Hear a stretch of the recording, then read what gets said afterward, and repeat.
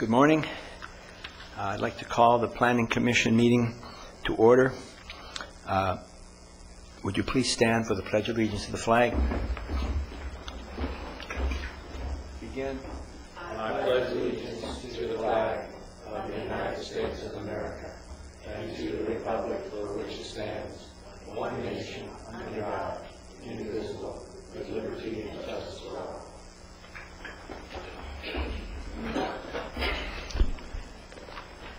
Danielle, would you take the roll? Commissioner Nora Dukas. Here. Commissioner Stephen Onstott. Here. Chair Leo Molitor. Here. Commissioner Michael Wessner. Present.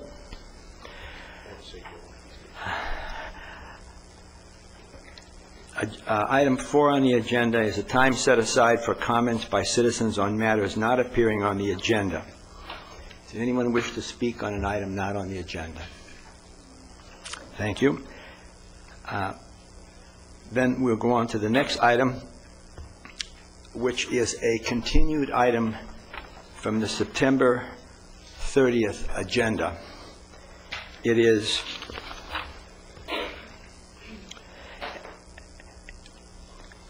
It's AP 10-0004, Mosler Rock Products, Ojai Quarry Appellant.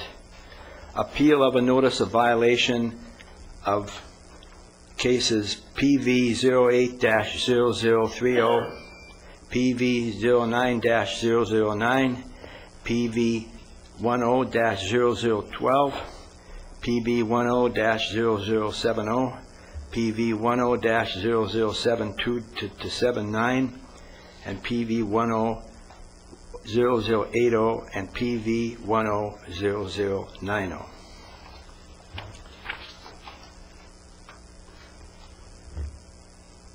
Before we have the presentation of the staff, uh, County Counsel, would you like to make a comment on, on, on, on, on your role here?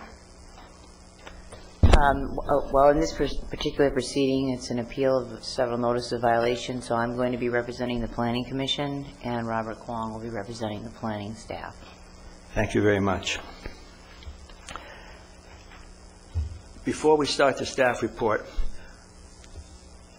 I will limit the county's presentation, the staff, to 20 minutes.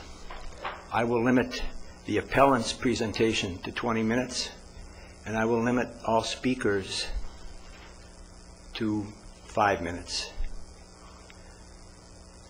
So, Ms. McGee? Thank you, Chairman, Commissioners. I'm Ebony J. McGee, and I'll be representing planning staff on this item. This is appeal for the violations for the Mosler Ojai Quarry Conditional Use Permit, CUP 3489.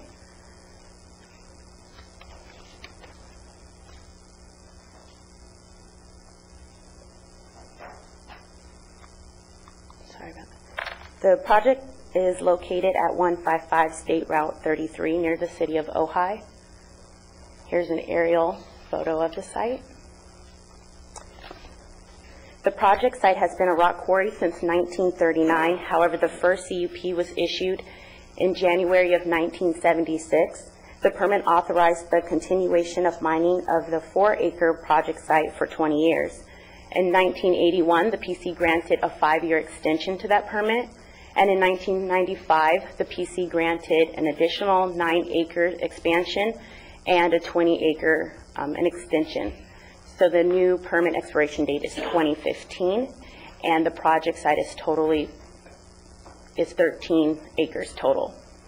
In February 2005, Mosler Rock purchased the site from the original owner, and in doing so, Mr. Mosler signed a reimbursement agreement which authorized the county to conduct post-approval condition compliance review and/or site inspection and/or permit research and review at Mr. Mosler's expense. In addition, Mr. Mosler signed an acceptance of conditions, which stated that he agreed to the um, conditions of approval and agreed to abide by them. Currently, Mr. Mosler um, is not abiding by either of those conditions, and currently has a balance of $77,184.09 for the condition compliance account and $8,186.74 for this appeal. There has been several violations issued by a number of departments and agencies at the site, four of which have been from the U.S. Department of Mine Safety and Health Administration, two in 2006 and two in 2004, all four hazardous conditions on the site. The Planning Division has issued four emergency use authorizations to allow the operator to conduct activities outside the permitted conditions in response to emergency situations. The most recent EUA issued was in 2006, which permitted the operator to remediate hazardous safety conditions on the southern portion of the, of the mining site and remove hazardous boulders to abate an MSHA violation. Um, MSHA did not cite the owner for this violation, but did note that there was a violation during the inspection. The operator then obtained the permit to um, abate that violation.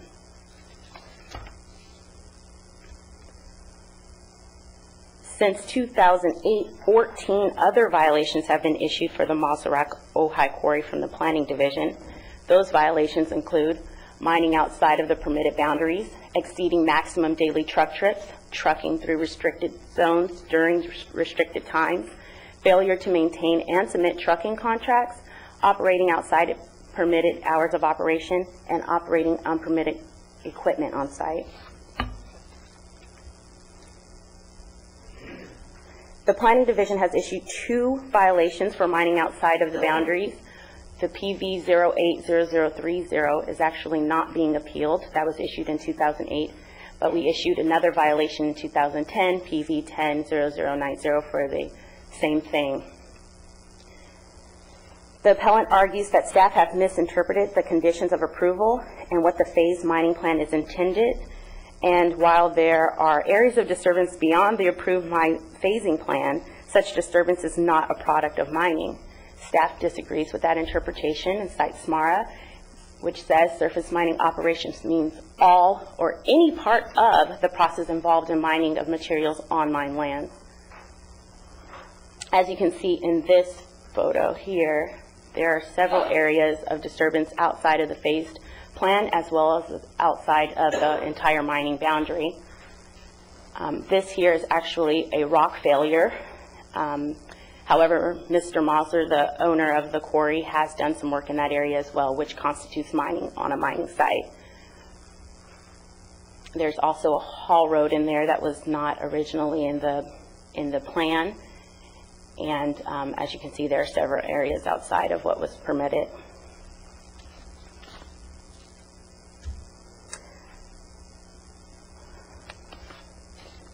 The Planning Division issued a violation for operation, for operating um, in excess of the number of permitted truck trips.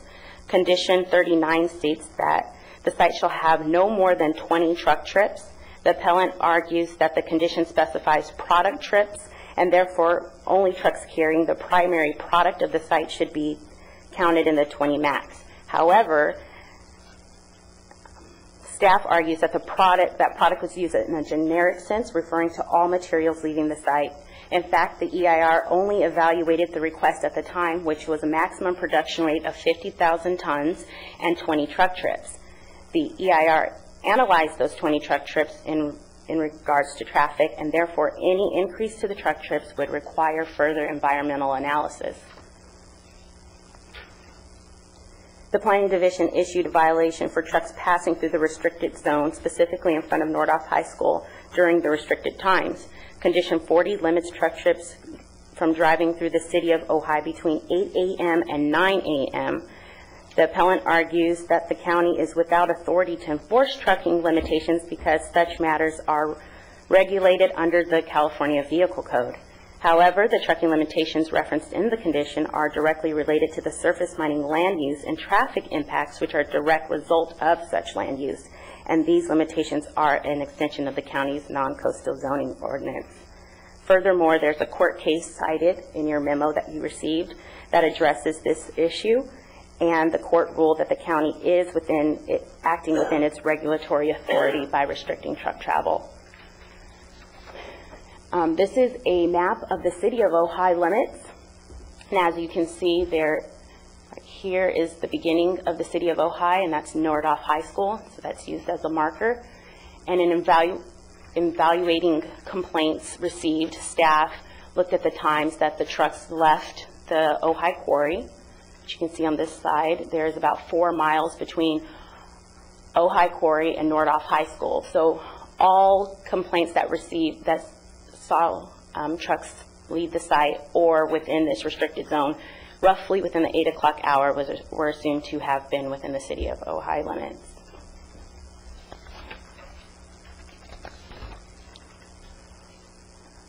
To investigate alleged violations regarding trucking, the operator is required to keep contracts with all trucking companies used. The contract is the planning division's vehicle to ensure that all truckers are aware of the trucking limitation conditions on the project site. When requested, the operator was unable to provide such contracts. Therefore, the planning division issued violations for all instances in which the contracts were requested and not provided. The applicant argues that the, I'm sorry, the appellant argues that the operator has entered into verbal contracts with the, with the drivers. However, unfortunately, there's no way for staff to verify such contracts have been obtained. Therefore, written contracts will be required to demonstrate compliance with this condition. Staff has advised the appellant that they, that he may submit a draft contract for review and approval, which that contract could serve as a sample for all others, but no samples have been received to date. On March 30th, 2010, planning staff observed several trucks entering the Mosler Rock Ojai Quarry before the permitted hours, operating hours of 7 a.m. Thus, Planning Division issued a violation. The appellant argues that the condition does not explicitly prevent trucks from entering the site. However, the condition does limit mining activities and shipping, shipping during these hours. Driving trucks onto the site for loading is an accessory to mining activities and shipping, and therefore, any trucks on site to engage in mining activities or shipping is subject to the hours of operation of 7 a.m. Furthermore, the appellant will argue that the trucks observed on site were Mr. Mosler's personal vehicles. Um, There was one truck, and if you turn to page 310 through 312 of your staff report package, the original one, you'll see pictures of all the trucks. There were three trucks cited. One of them was a personal vehicle. The other two were commercial vehicles. We issued one violation for all three. And finally, the Planning Division issued a violation for unpermitted equipment on site. The appellant has no argument that the equipment on site is not part of the original permitted equipment. However, the appellant argues that such equipment is an accessory to the mining operation. This is a list of the permitted equipment from the original permit, and this is what was submitted to planning staff in 2007 by the operator showing what was on site.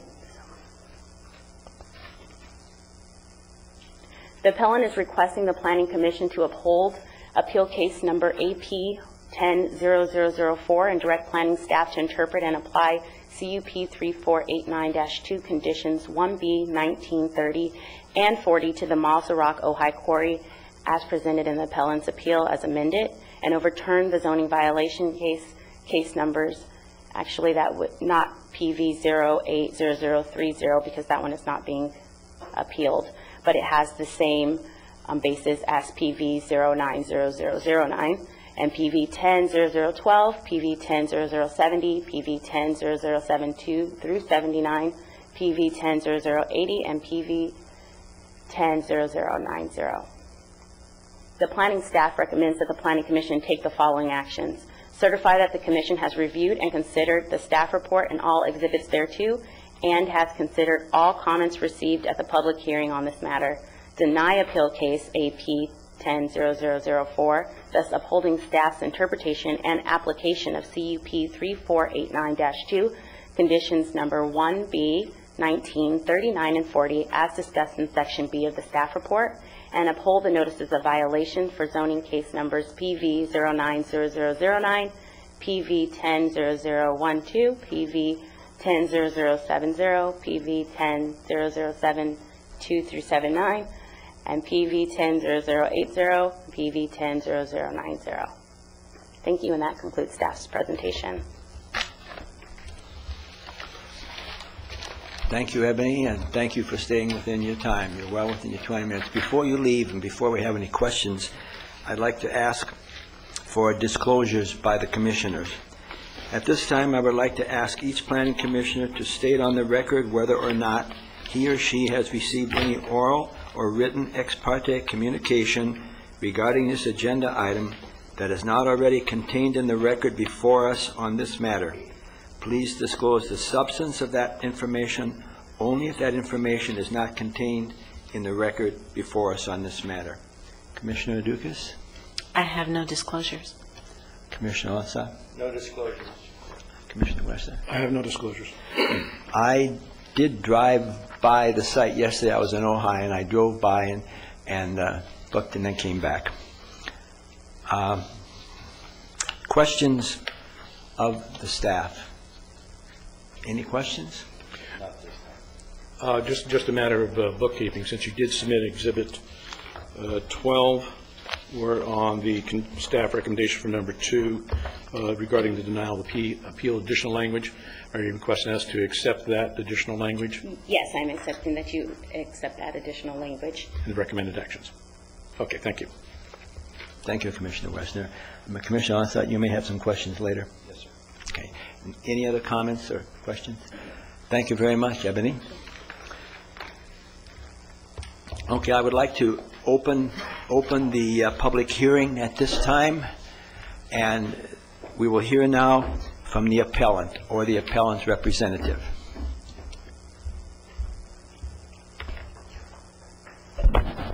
One moment, I, think we need to queue up my presentation, Commissioners.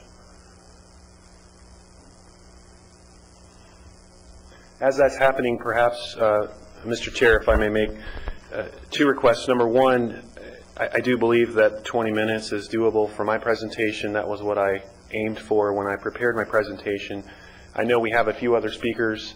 Um, I'd ask that particularly Mr. Mosler be attributed the five minutes speaking time and that the 20 minutes come to me. That way, that the five, the 20 minutes doesn't count towards him if that would be acceptable to the commission. That's acceptable. And then also, if I may have a few brief moments at the end after any other members of the public uh, have spoken to have a brief rebuttal, I would appreciate that. That's part of the process. Okay, I appreciate that. Let me, uh, well, I'm, I, hopefully I can operate the PowerPoint presentation, but uh, members of the commission, good morning. My name is Derek Cole. I am an attorney. I represent Larry Mossler. Mr. Mossler is seated in the brown jacket. Uh, Larry's wife, Grace Mossler, is with him, and she is seated in the uh, tan uh, jacket. And they are the owners of the Ojai Quarry. As you can see, they are uh, not out of state, not big corporations. They're two local residents who own this quarry. And this quarry is their livelihood. And I have some very significant issues with the notices of violations and, and how th- those matters have progressed. But let me briefly give you a roadmap for my presentation so you can make sure that I progress along and I don't get stuck anywhere. First, I want to talk and make a few comments about why we are here today. And I want to put the violations in their proper context. Then I will address the merits of each of the violations, and I will do so by addressing the boundary issue, the equipment issue, and then I'll get into the trucking issue. And then I'll have a few comments at the end to conclude. But Commissioners, why we're here today, this quarry is the smallest mine in the county. Uh, It is the smallest by a significant degree. There are some quarries in this county that have amply more, considerably more production. Uh, The Mosslers purchased this quarry in 2005, so they've owned it for about five years. And since about the past two or three years, or the last two or three years, there seems to have been a fixation on this quarry. And there has been a considerable amount of attention that has been paid to just this quarry. Uh, Let me start by showing you the first slide. This is we, we obtained records from the billings that the county has been sending out to all the mines. I apologize, I did include this in a letter, uh, it's, so it's kind of hard to see. But what this basically shows is that when you look at production, permitted production levels, you have mines that are 10, 20, and 30 times the production capacity of this quarry, yet have only received about a fraction of the enforcement time by staff. And what this shows is that there is a disproportionate focus on this quarry compared to operations that are vastly larger in production.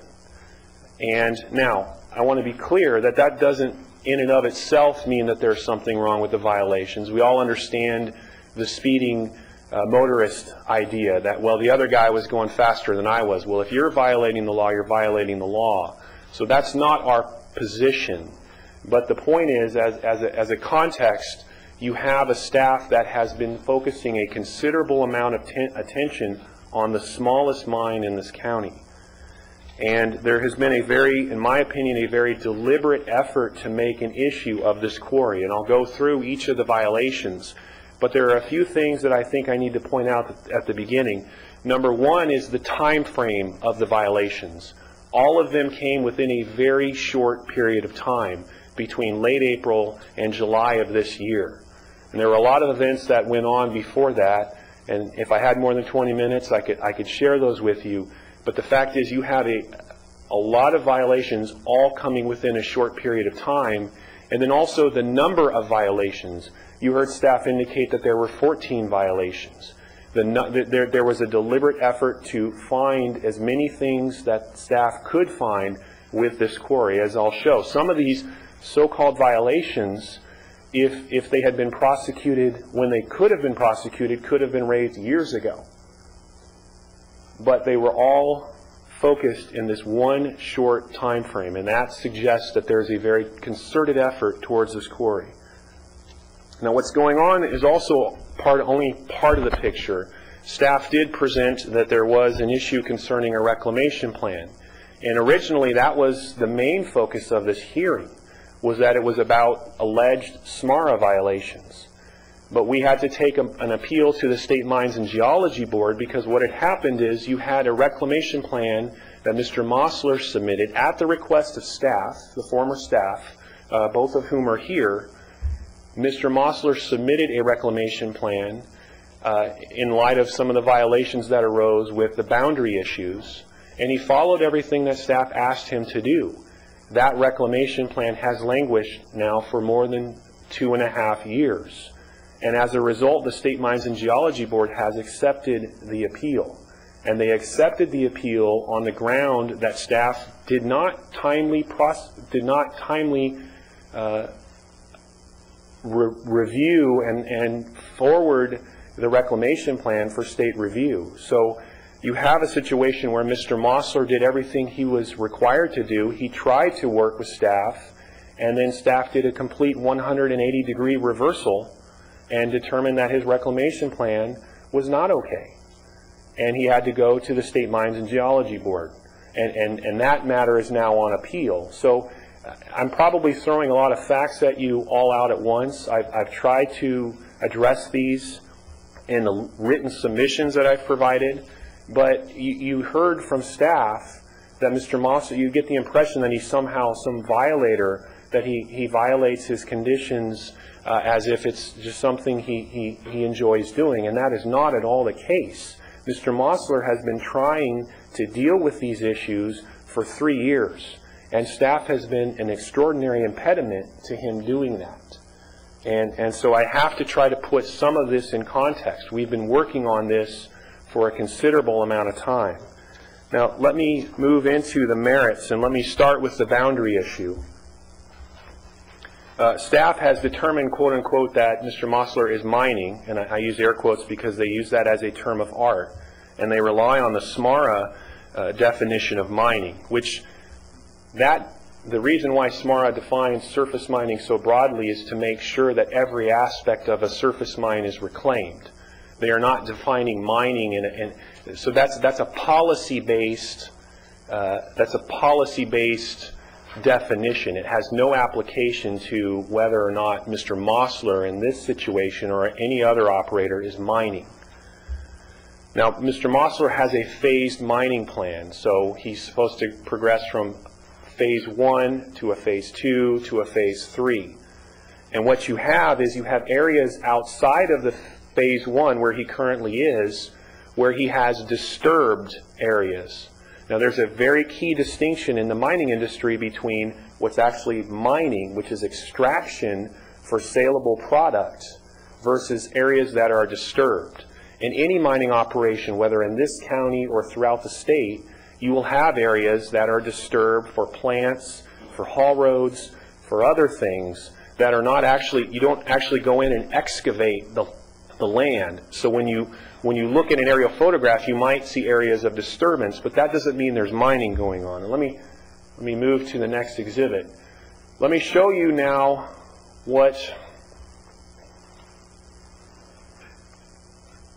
So what I, what I have here is on the left is a 2008 aerial photograph, and this is an aerial photograph I received from staff. On the right is a 2004 aerial photograph. And so if I can use what, what staff pointed to in its presentation is it was looking at areas that are outside of the permit, the, the phasing boundaries, which you see in, in colors, and then you see the ultimate boundary in a, in a bold, uh, a bold black line. But you see, staff pointed to areas outside of that boundary. It pointed to two in particular.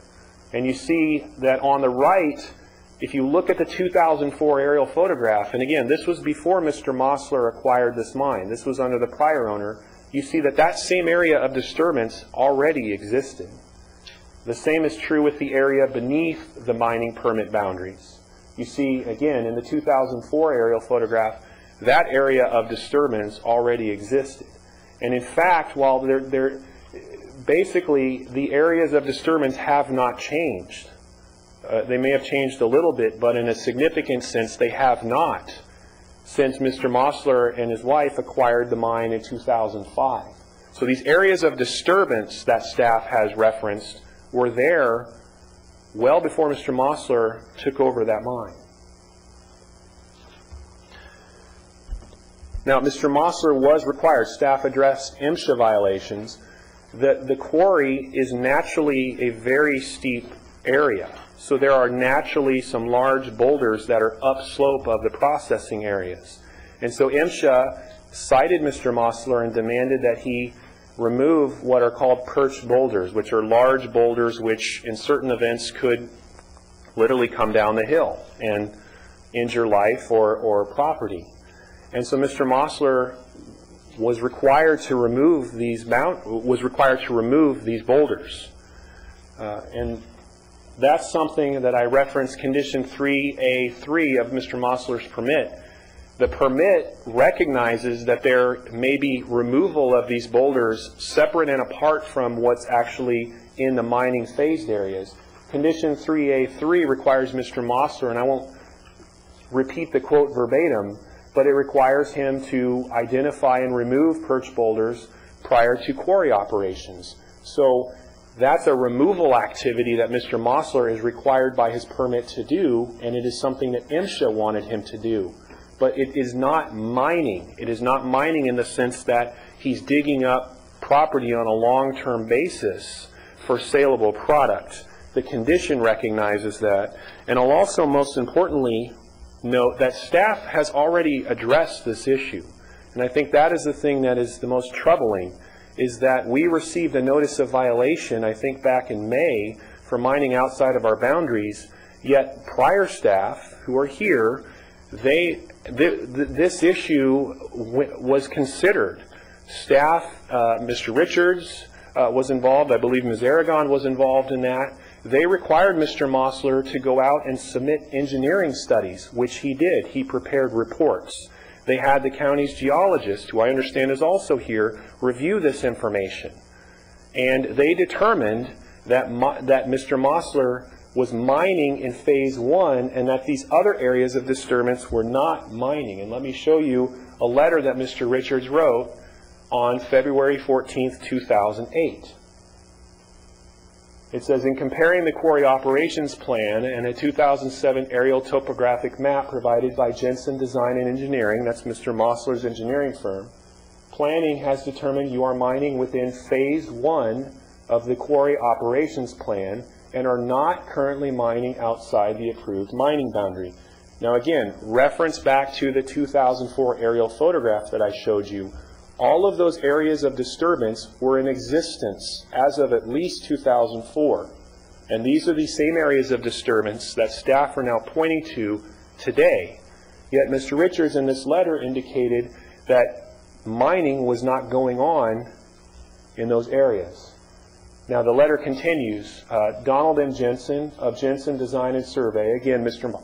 Mosler's uh, engineering firm, in a July 2007 letter state, we have compared the contours of this survey with quarry operations plan and cross sections prepared as exhibits to the June 8, 1995 CUP approval, and it is our conclusion that the operation is within the Phase 1B removal area. So, Commissioners, the important thing here is that there was an engineering determination, which was based on an engineering evaluation and review of aerial photographs by those who are trained to make these determinations, that mining was occurring in Phase 1 and not elsewhere. Now, I, I, I mean no disrespect at all to those who are planners because they perform vital functions. But planners don't have the ability or the expertise to make every possible determination. They have to go out and get the experts. And in this situation, that is what your staff previously did, and that is the conclusion they reached. Now, the upshot of that is what staff required is for Mr. Mosler to submit a reclamation plan to address these disturbed areas. That was why Mr. Mosler submitted an amended reclamation plan. So staff said, Mr. Mosler, submit that plan and we will process it. That is how we will handle this issue of having disturbed areas. Staff did not say at that time that you need to amend your permit boundaries and turn those uh, and, and make those part of your phasing. And that's important because Mr. Mosler followed what staff directed him to do. And that was reflected in the notice of violation that was issued in 2008. Mr. Mosler did that. Staff processed the reclamation plan. Staff certified that that reclamation plan met all SMARA requirements. That is a certification that is required by SMARA. It says that the planning, uh, a staff cannot forward a reclamation plan to the state unless they certify that it is compliant and your staff did that. So Mr. Mosler addressed the boundary issue. He did what staff wanted him to do, and he complied with SMARA. Now, sometime either late last year or early this year, your new staff took a 180 degree turn from what your prior staff did and have come up with an entirely new idea of let's make Mr. Mosler amend his permit boundaries.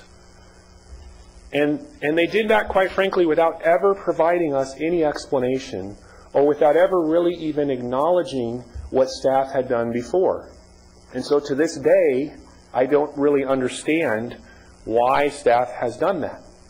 And it makes no sense because Mr. Mosler, in his reclamation plan, these disturbed areas, or most of them that staff pointed out to you, is going to reclaim those. He's going to not mine those.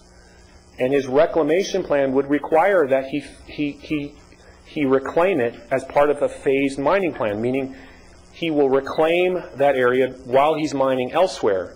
So does it make sense, commissioners, to require Mr. Mosler to amend his permit boundaries to incorporate these areas, which he's not going to mine, into his quote-unquote mining areas? No, it does not. And that's why what staff had previously done makes sense. And that's why we are objecting to this notice of violation. Apart from the fact that we did what staff required us to do, it absolutely makes no sense to amend those permit boundaries to uh, incorporate areas that are never going to be mined into a phasing area. That just makes no sense from any practical standpoint. So Commissioners, we would ask to find, ask you to find that in fact, Mr. Mosler is not mining outside of his permitted areas. And I, I think I've beaten that issue to death. Let me move now to the equipment issue, and this is something I also find very troubling. Staff laid out Mr. Mosler's equipment list in the 1995 permit. It is now 2010, and so naturally there's been some evolution in the equipment that is being used at that quarry. So Mr. Mosler is using equipment that was not indicated in that 1995 permit. Now, the staff did not mention this in oral presentation, and it's only briefly mentioned in its written report, but Mr. Mosler has submitted equipment lists to the planning division. It did so twice in 2006. It did so once in 2007. I'm putting it up here. I'm not expecting any of you to actually strain your eyes and read this, but this is the equipment list that Mr. Mosler provided in January of 2007. So this list has been sitting with staff for three years. Staff is aware of this. Clearly, they reference it in their report. And yet they cite Mr. Mosler for having unpermitted equipment without any explanation as to why this list, quite frankly, is not acceptable. Now, let's say staff says, you know what, Mr. Mosler, we understand you have a list, but we want you to do it a different way. That's fine. If there's another way to do it, we'll do it that way. But why does this matter need to be addressed as a notice of violation? I note the condition. It said this is the condition that deals with the uh, equipment list. If you read at the end, it limits the equipment that can be used, but it says unless changes to this list are approved in writing by the planning director. Now, to me, it would have been very simple for staff to present to the planning director the list and ask that she sign something indicating that's okay, or advise Mr. Mosler why it's not okay. Why does this need to progress as a notice of violation, is my question, when there was an effort by Mr. Mosler to comply with that condition, and, and, and that list had been exi- in existence for three years. Now, if, that, if, if doing it that way wasn't good enough, then okay, tell us that. But why why Excuse cite me, him? Mr. Cole. Yes. Will you Take a few minutes. uh, Okay. Your time is up, and uh, Mr. finish Chair, if I may. Yeah. I understand we like to control speakerships, but uh, the appellant did extend us the courtesy on the 30th September, not going to the late hours of the night. So I agree, wrap it up. I. But if you need a couple extra minutes, I think we should extend at least a couple minutes courtesy on that. Okay. Okay. I'm, I, I think I've handled the equipment issue. Let me address the truck issue, and then quite frankly, I'm done at that point, and others can speak. On the trucking violations, I'll note the issue of vehicle code preemption. I've raised that issue. I think that's a predominantly legal issue. I don't need to beat that issue to death here. Um, I will note that Vehicle Code Section 21 says that local agencies cannot adopt or enforce ordinances that are not expressly authorized by, uh, by the Vehicle Code. The enforcement of a zoning ordinance is, therefore falls under that language. I understand that there is a trial court ruling here by Judge Reiser that suggests the opposite. That's an issue that I hope we don't have to raise because I hope we can resolve the issue today. But I acknowledge that that's a, a point we will have to raise uh, if, if unfortunately things uh, don't go as we hope they do. As to the hours of operation, let me quickly point out, um, what you have here, there were three trucks that staff observed on March 30th. One of those is Mr. Mosler's personal vehicle, that vehicle right there. So staff has essentially cited Mr. Mosler for, for driving his vehicle onto the quarry property.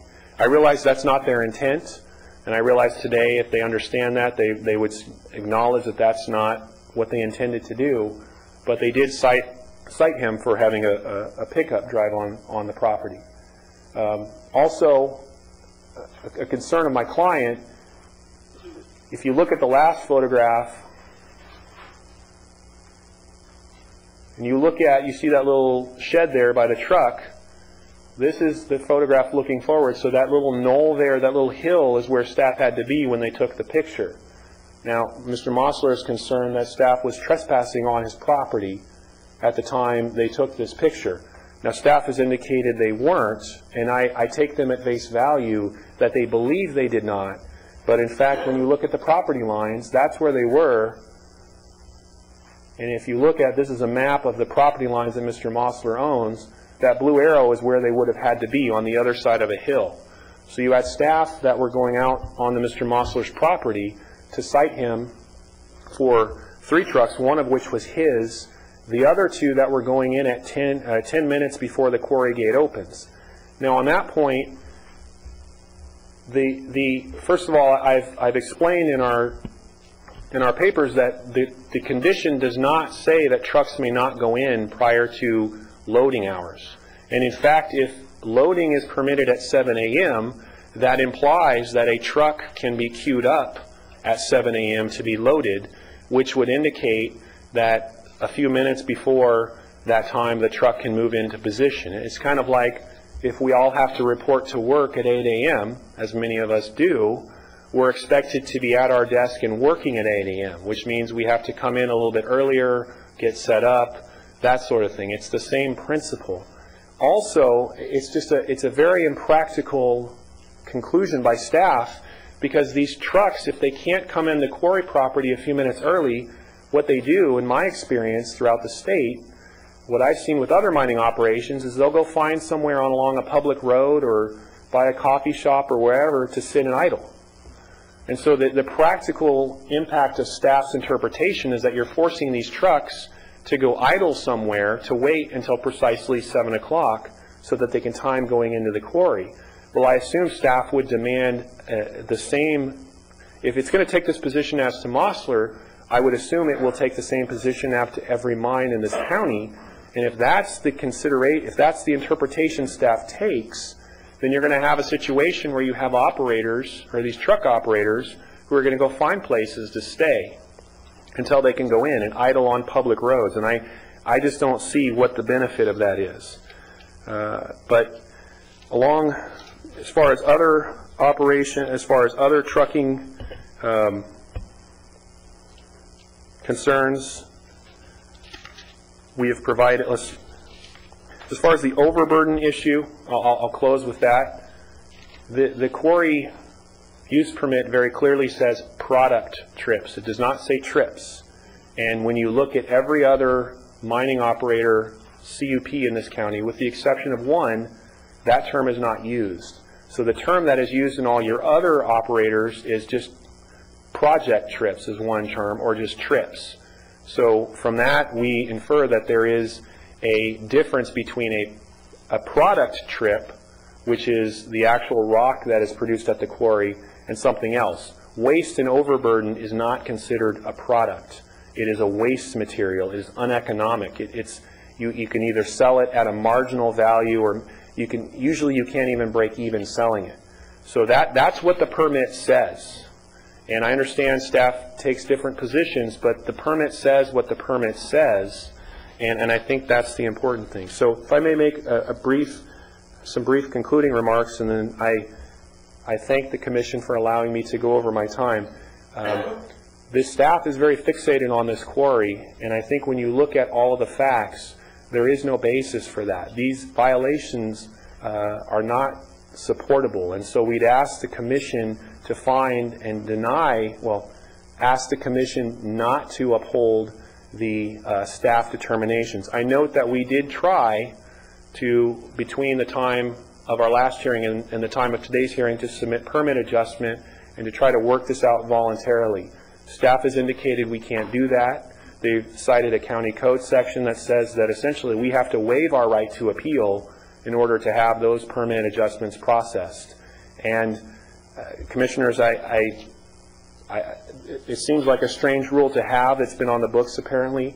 We can't do that because I, I just don't feel that any of these violations are supportable and quite frankly, we shouldn't be here. The other, the final remark is, as, as staff presented, not only is Mr. Mosler having to deal with all of this, but he's being now required, staff is indicating that he should be paying them $77,000 and then another $8,000 for this appeal. $85,000 to deal with all of these issues that frankly shouldn't, he shouldn't be dealing with in the first place, and other issues that he thought he was dealing with, but yet staff completely reversed course. I was informed yesterday that staff is now planning to charge Mr. Mosler for defending against his State Mines and Geology Board appeal. And, and that one really took the cake because you have a situation where an operator was forced to invoke a State Mines and Geology Board remedy on the ground of the county's failure to timely process and comply with SMARA, and that appeal was accepted, and now the county, in defending against that appeal, is going to charge him for all of its time, all of its research, all of its document duplication, uh, and that just, to me, really seems um, uh, unfair and, and inappropriate. And so, Commissioners, I'll, I'll be happy to answer any questions. I, I again thank you for allowing me to go over the time, and I apologize. I wonder if we should have questions now or after all of the, yes. Uh, I think we'll have any other people who are speaking in favor of your appeal. And if you haven't filled out a speaker card, not you, Mr. Cole, but would anyone else who's going to speak uh, fill out a speaker card? If not, you, can- uh, we have some cards up here. Yeah, they're, they're out in front. And then, uh, but anyone else who wishes to speak in favor of the appeal may speak now with a, with a five-minute.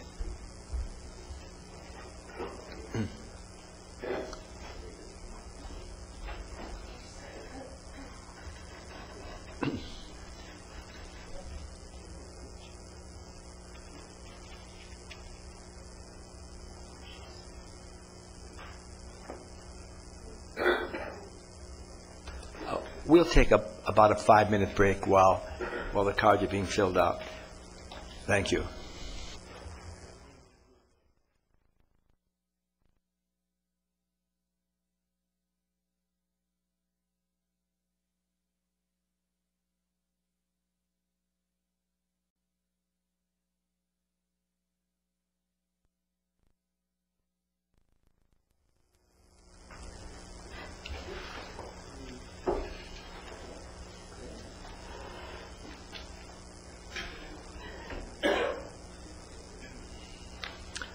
Is the planning director ready? Okay. All right, we'd like to resume the meeting then, and uh, I have two cards. The first one is Mr. Mosler. Would you please come forward and state your name and address? Larry Mosler, 2280 Moon Ridge Avenue, Newbury Park.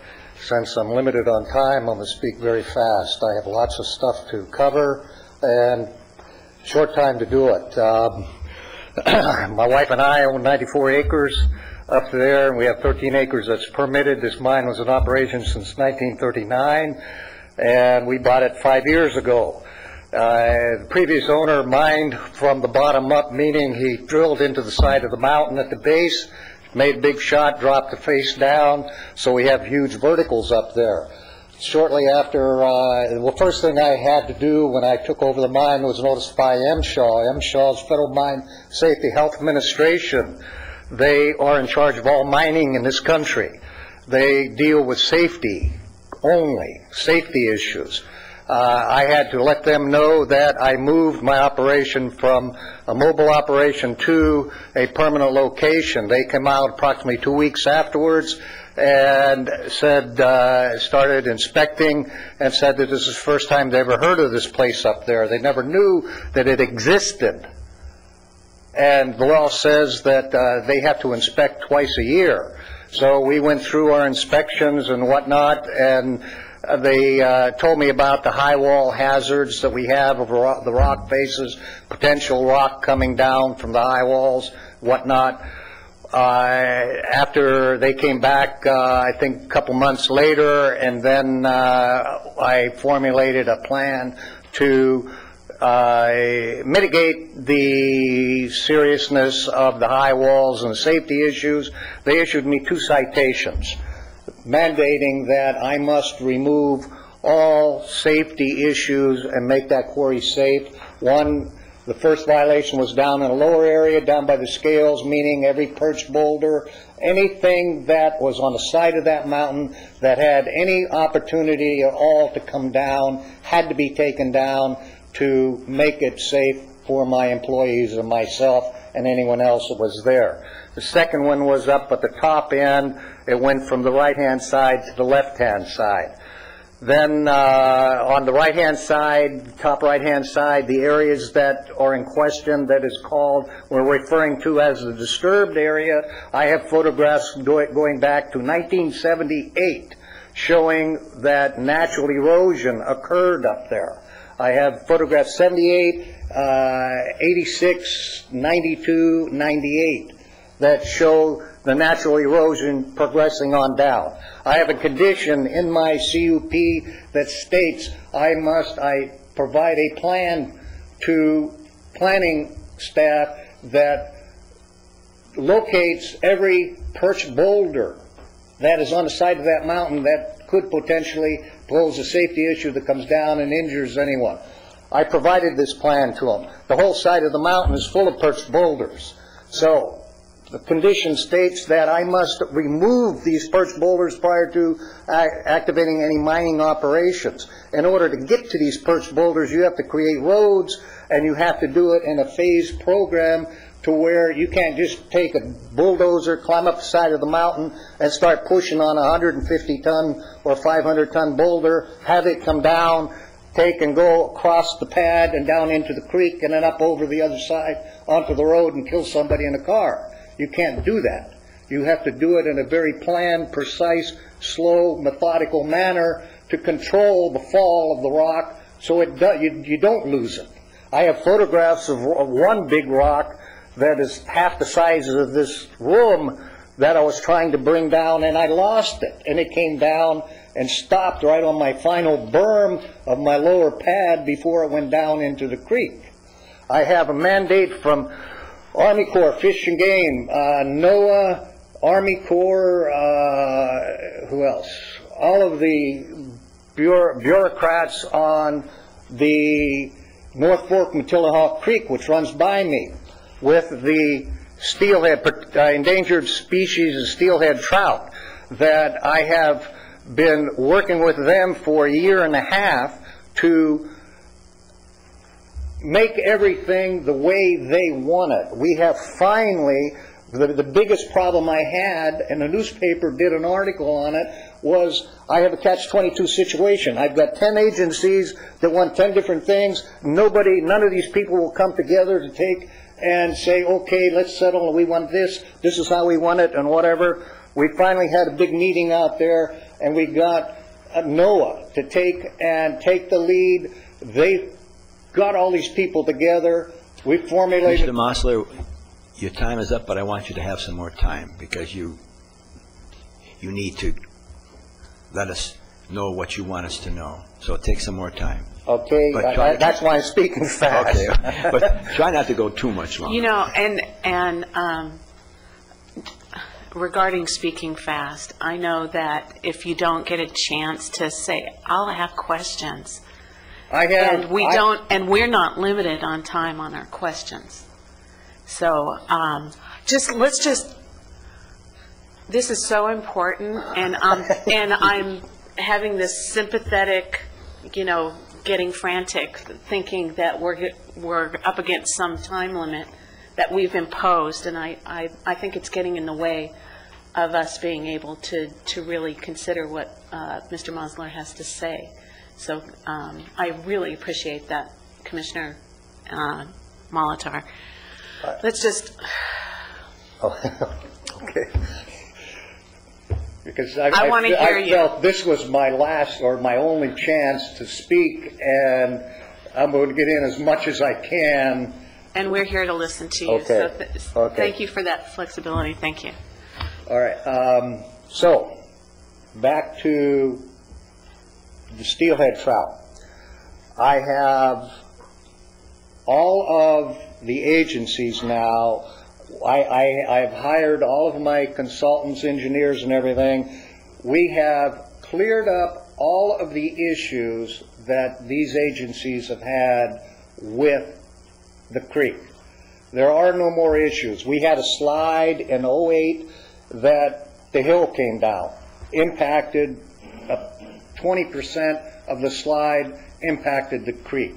And then, so we were blocking the creek. Before I could go in and remove the slide, I have to have three times this much paperwork and approval from everybody and their brother, but I'm getting real good press time that I'm up here, I'm the fish killer, I am killing the fish by blocking the stream, and I can't do a thing about it because I'm not allowed. So now you think you have a letter in your file from NOAA and Fish and Game telling you that we are down at the very end now. We're rebuilding the slope. We have our final revegetation plan drawn, and it's for the final approval, and we're going to get that, but I anticipate being finished with this in another 30 days, and that's going to be the end of me killing the fish in the creek, because I won't be able to do it. I've dug back the side of my mountain. I've dug a huge retention, retention basin that the, the engineers calculated out that it will, the capacity of the, it'll hold a half a million gallons of water on my site and it'll percolate back into the ground to where none of this water, when it rains, will go into the creek. So I'm real happy about that because now nobody's gonna be up there taking pictures. I got muddy water running down into the creek killing the fish. So that is, that issue is pretty much gone. But the big issue is, I have perch boulders up there, I have a condition that says you must remove it. I submitted a plan to planning to remove it. They say, no, I can't do it. I can't go up there. I can't, I have to mine that hill within that mining limit. Meaning, I cannot build a road to go up along the side on my own property. I can't build a road to go up onto the side to access from the top and work down. Anyone, the person who drew this mining plan initially, I don't know where they found this person, but I have a rock quarry that goes up the side of a mountain. And the way this plan is drawn, you are to mine from the bottom and work up. That's physically impossible to do.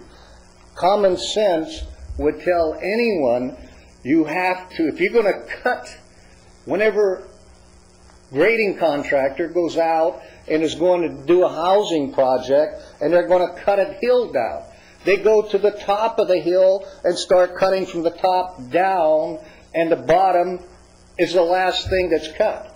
This plan says I start at the bottom and I work up. Now we're dealing with rock that can come down and kill you. And I say, I tell planning, I am not going, I'm going to adhere what the federal government tells me to do. MSHA says you will do it safely. And I say I am going to do it safely because I'm not going to be in the courthouse trying to defend myself over, well, Mr. Mosler, did you know this was unsafe condition that you had your people go and do? And I'm going to lie to him and say, no, I didn't know that was unsafe. Well, all these years of experience that you have and knowledge that you have, you didn't know that was unsafe? You know, I, right. You know, I'm going to be lying to him. I, I'm not going to do that. We're going to do this in a safe manner, and we're going to follow all the rules and regulations. But it, it's, it's like you can't have it both ways. You can't have your cake there and eat it too the way planning wants it. Here, good example, which hasn't been brought up yet. when I first came into the quarry in 05, I had a portable crushing plant. It was too big to bring in the quarry, so I sold the plant, and then I met with county EPA people, air pollution people. They made a comment to me at that time, because I told them I am going to be crushing in there at some point in time. They told me, you will not have a generator in there running your crushing plant. I said, fine, I'll bring in power then, you know, because I don't have any power. All right? So we have just eight months ago, a year ago, probably eight months ago, we finally got to the point where I have enough room. I purchased a small crushing plant. Spent a quarter million dollars buying this crushing plant. Brought it in. It's permitted with the state. I notify the county. I notify APCD. My, the rules say whenever you bring in any screening crushing equipment, it has to be permitted by the state or permitted by county APCD. If it's permitted by the state, it doesn't have to be permitted by the county, but you have to notify the county. So this is what I do. And I have a folder full of every letters every time I notify the county and this and that. So I take and bring in my crusher, and then I don't have power. The first time I just rented a generator.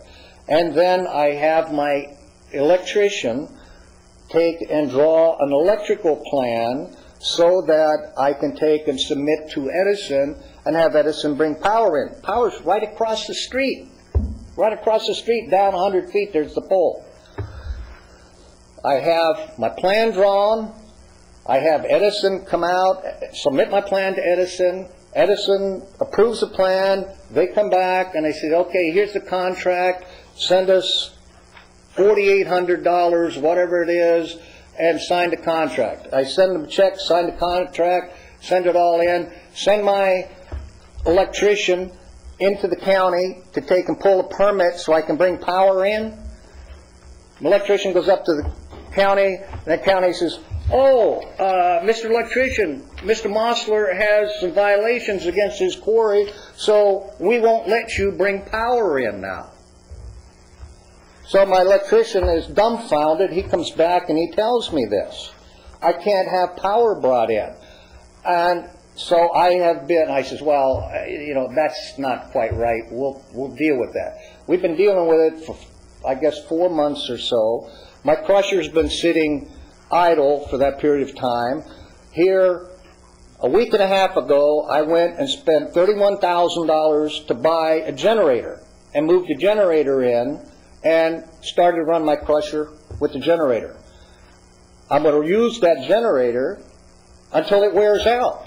And it's going to pollute the air, which APCD doesn't want. I have my contract. Edison has my money for power. I can't get it. Now, I get a phone call this morning. I want to put lights up there, and I want to put a security camera. One of my guys called me this morning and tell me, well, somebody again broke in up there, stole fuel out of my fuel out of my water truck, and stole some wire that we had there. I said, Daryl, just call the cops, have them make another police report because I have a folder in my in my desk, all the police reports from vandalism, theft, and everything else. I have up there because I don't have lights and I don't have a camera. We put up six foot high fence all around, but they still go around the fence because the fence can't be put up across the creek because I'm impacting the fish. So I have spent now $31,000 to run a generator that I did not need to do. But planning says I have the violations and I'm a bad boy and they're going to make me pay. Um, I am in Kathy, Supervisor Kathy Long's district. Now, the split on a district on my side of Highway 33 is Long's district. On the other side of Highway 33 is Steve Bennett's district. Now, with Bennett, he has, it's my perception, he has one objective, to shut that quarry down. However, he can have it shut down. Because our perception is this stuff has to start someplace up here and then it rolls downhill. I have had two meetings with Kathy Long about my quarry.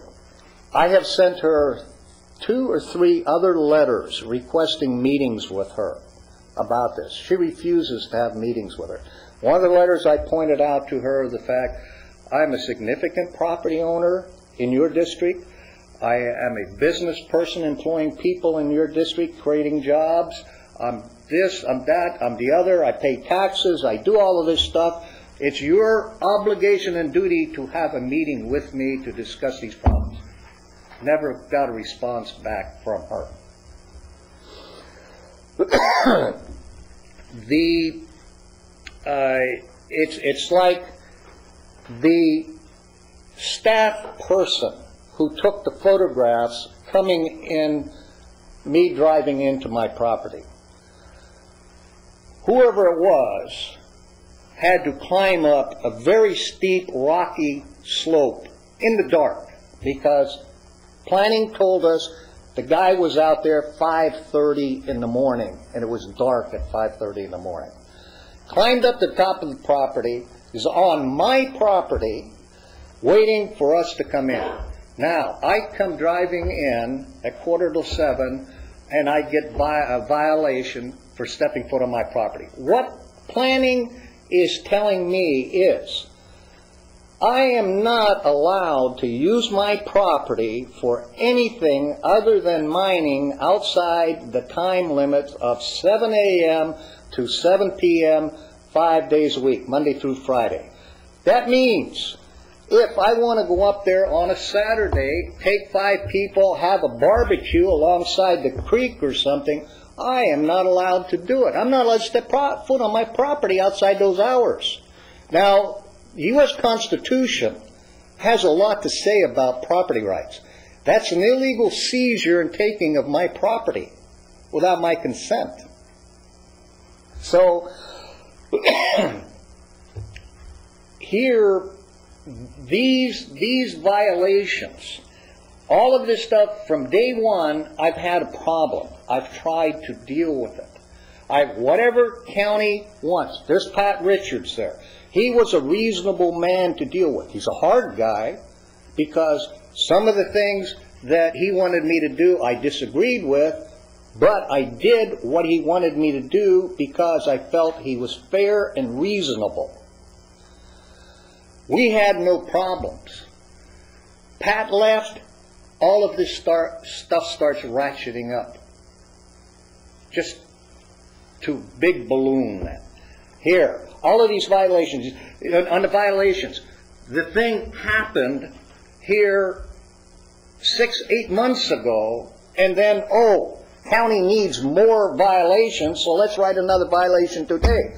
If it was a violation six months ago, why didn't they write the violation six months ago? You know, it, it, it, I wouldn't do that. If, if I thought it was a violation, I, that's what I would do. Why wait six, eight months to package them all together and hit me with all of this stuff? Here, one of the ones was we have stopped the trucks. I would assume all of you people are familiar with stop the trucks. They have one objective to stop all trucks in Ojai. So what we should do is stop all the gasoline delivery trucks, all the Vons Market trucks, stop them all, if we're going to stop the trucks.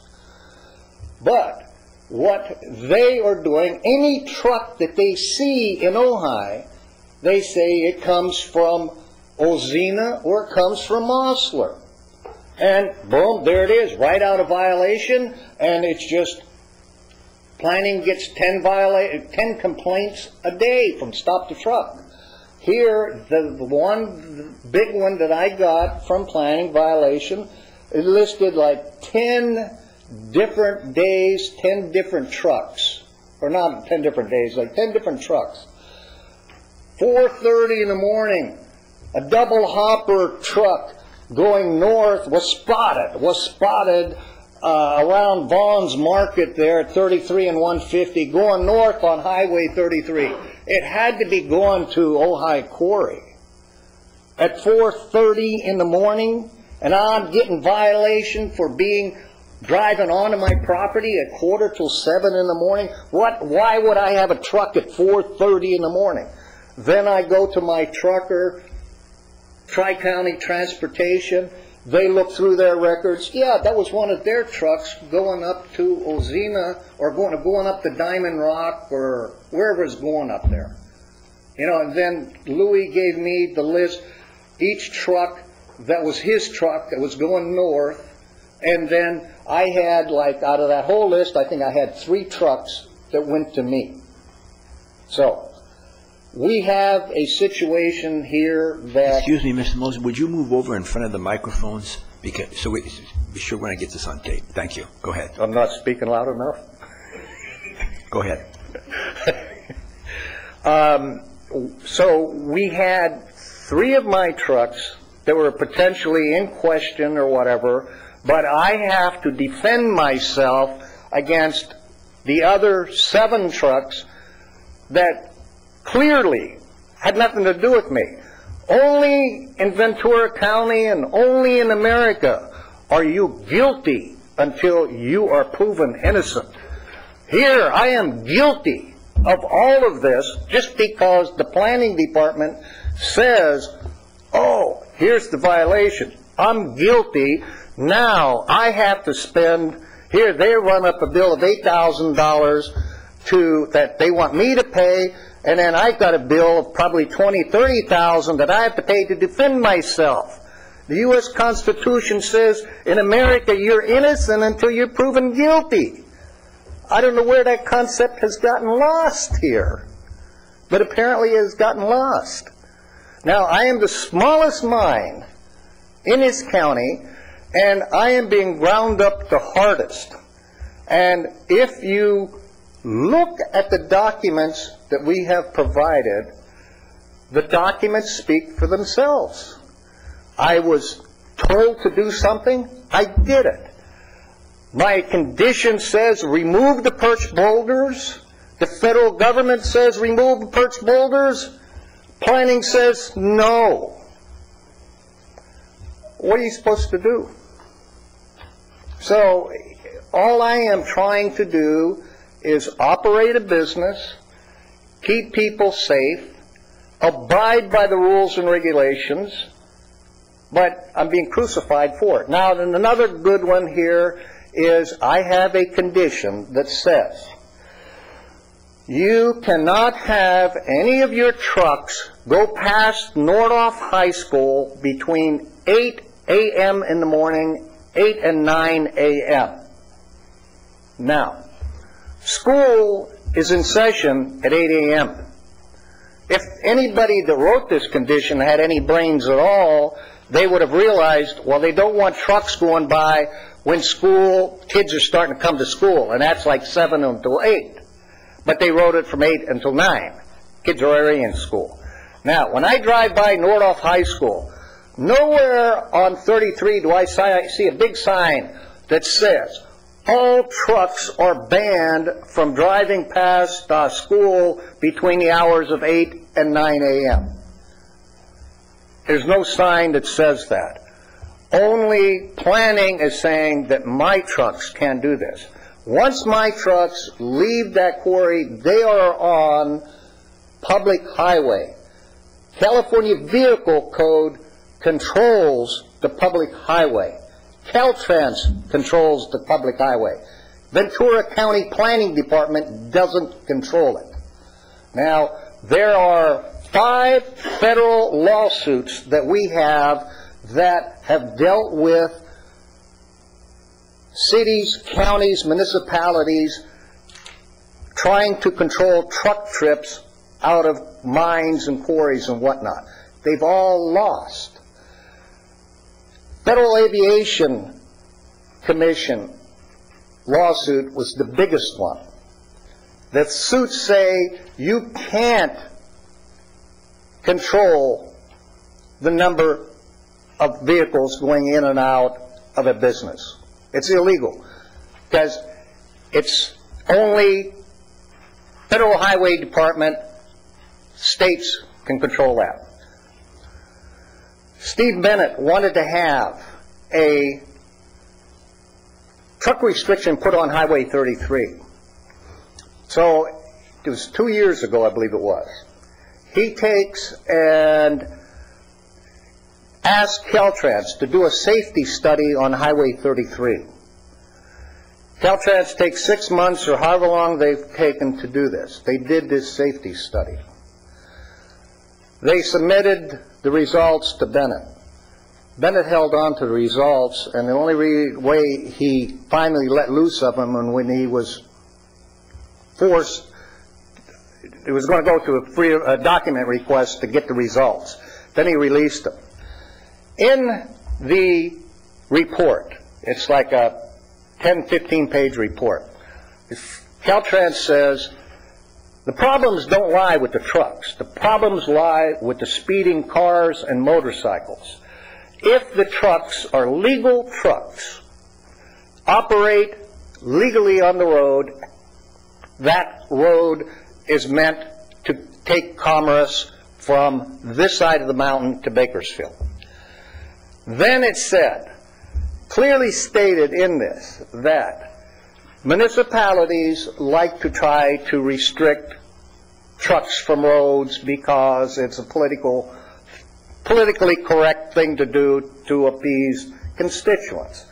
It says there's a process in place to do that. They listed the name, phone number, and address and everything of the office that Caltrans has to submit an application to have a restriction put on a highway. And then it says at the bottom, it lists the highways in this state that have those restrictions. There's like three short pieces of road that have those restrictions on them. Then it says this is an extremely difficult thing to do because you're interfering with interstate commerce and it's a federal issue and you're not allowed to do it. So here, even Caltrans told Bennett, you can't do this, but we're still doing it. My question is, why? Do me, do me, do me, do I, as the smallest mine owner in the county, have to take up the gauntlet and file suit and take this to the federal courts to prove that the five previous lawsuits are in fact just and they will stand up and then the county is going to get off of my back and I can have more than 20 loads a day. Other, other mines, Grimes Canyon, four and 500 truck trips a day. I have 20. Now, the previous owner, if he could, when that CUP was written in 95, if he could have gotten out 20 loads in one day, he would have had, he felt he'd struck it rich. Because it, he'd be lucky, he, he's lucky to get out five loads a day. But, you know, I've cleaned the place up. I've made room. I've done improvements. I've done all of these things. And the irony of the whole thing is, there's more people in Ojai that want this material than are members of Stop the Trucks that don't want any trucks.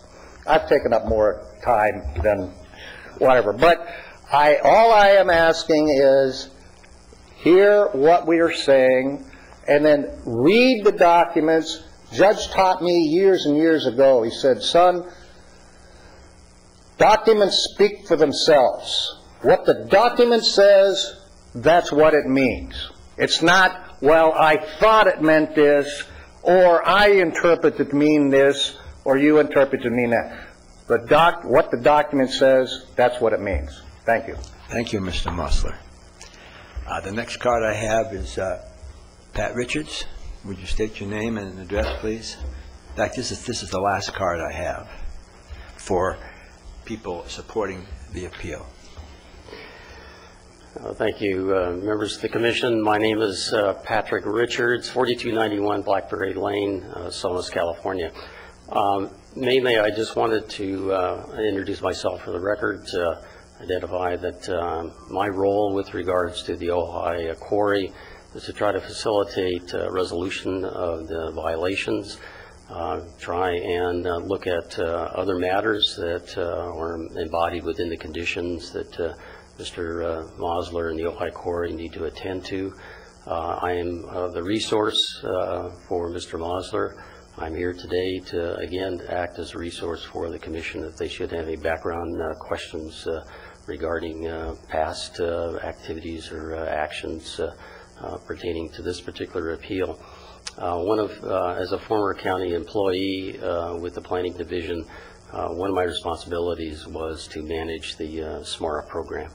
So with that said, um, that's all I have to say. Thank you. Thank you, Mr. Richards. Uh, Commissioner Dukas? So um, were you um, with the county in 1995 when the CUP was first issued? Did you have anything to do with the um, issuance of the CUP in 95? No, I, Okay. fine. Um, There's equipment lists, the ones that were okayed by the original CUP, and then what's going on there now. Could you explain a little bit about the process that you would have to go through in order to add equipment uh, to uh, a conditional use permit of this type? Well, many of the buy-ins did not specifically call out um, um, particular type of equipment, so this was a a little bit of an unusual situation. Um, And I'm going by memory, because you have to remember, I I left the county uh, two years ago. Um, The equipment list, uh, I remember, was reviewed, and uh, uh, the specifics as to the surroundings, uh, I really can't remember exactly, but uh, the appearance is that it was reviewed, uh, it appeared to be uh, within the nominal provisions of the mining operation of a mine of that size, and was probably simply just placed uh, in the file, uh, in essence, received and accepted. Um, In hindsight, uh, in all likelihood, should have been documentation back to uh, the Ojai Quarry to acknowledge uh, that, you know, that uh, the information was received and accepted. Uh, um, I don't believe that that document uh, uh, exists, that reply document exists. Would, in your opinion, would it be reasonable to, to have, um, to have to have, like, changes to your CUP in order to get new equipment for your operation? Matter, matters um, such as uh, revised equipment list uh, was typically processed under a permit adjustment uh, process, which is the lowest permitting process. It's permit adjustment, minor modifications, and then major modification process. Uh, The only really salient difference between uh, uh, those provisions is the permit adjustment does not require a public hearing. Minor modifications and major major modifications require a public hearing. Um, Permit adjustments uh, are appealable, um, should anybody choose to, to appeal that. But uh, that probably would have been the, uh, the course of action if that was the only circumstances that were, that at that time uh, the staff was dealing with. And would that be something that the county would do, or would that be something that the permittee would have to do? The permittee, the applicant, the mine operator would do that. Okay, so the, the delay with the um, 2007 equipment list, that was his ball to carry? Well, unless the county advised them, uh, the operator, that uh, in order to um, officiate the change uh, by a permit adjustment, the operator would not know. And again, since there doesn't appear to be correspondence that followed the receipt of that uh, documentation, um, then the operator would not have knowledge that that was the request of the uh, uh, county at that point in time. Okay. Um, Regarding uh, the truck limits, um, do you see any um, reason why the county would be interested or intended to limit the productivity of a mine? There's a distinction being made between product trucks and trucks, Oh, and I'm yeah. not buying it. I just don't see, I, maybe this is conclusory and inappropriate, but um, I'm having trouble following the reasoning why the county would limit the productivity of a mine and say, well, you, you can only get this much. Well, the county traditionally uh, limits truck trips. Um, That's usually a a provision of uh, impact to uh, um, the local roadway system, um, depending upon where there uh, are congestion problems. Um, uh, Average daily trips is the, uh, the- the moniker that's that's generally used. Um, So the county has traditionally said there is a limitation. The applicant during a process, whether it be a, a new uh, mine or uh, one that's up for a uh, continuation, um, usually at that point in time, they, they put forth what they want as um, uh, the, the number of trips, and then that's evaluated uh, uh, typically through a traffic study. And so there's justification uh, that the roadway system can support that number of, of uh, vehicle trips. Uh, and I'm, I'm a little un- unclear as, to- as to the question, if, if the, if you're talking about the word product, um, that's, that's an anomaly. I don't, I don't believe that other mines have that particular, uh, uh, uh, identification, uh, on it. Uh, what was the mindset at the time that, staff had created that? I have no idea. Um, What was the mindset of the planning commission that approved it at that point in time? No idea. Um, Why they specifically did that, there must have been a, uh, a reason or a purpose uh, in doing that, but uh, it's not clear in the record what, uh, what that was. Okay, thank you for that. Sure. Uh, While you're, while you're there, Mr. Richards, you just said the county traditionally limits truck traffic, and the county also limits the traffic on Highway 33. They can't, the level of service is so great that you can't build anything that puts one more car on 33. So can we assume from your statement that the county has a right to limit trucks on Highway 33 going through Ojai? I'll leave that to the attorneys to uh, argue. Okay. Mr. Molitor. But, but it is happening, and it's not just happening to Mosler mines. Um, And it's happening not only on Highway 33, but um, uh, Highway 118 uh, comes to mind. There are other highways that are impacted by traffic in which the county does regulate um, and limits the, uh, uh, the use, the land use uh, for the number of vehicle trips that it can generate and not have an impact on the highway. Thank you, thank you, Mr. Richards. I have no other speaker cards, so I thought at this point, um, before, and I have no speaker cards for people who are against, pardon me, against the appeal. So, at this point, I would like to, with the commission's approval, deal with questions that we have from the appellant. Is that fine with you? Okay. Uh, Who would like to start? No?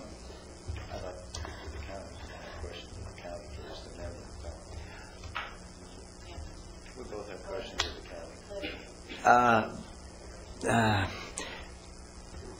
That's okay? If you say so.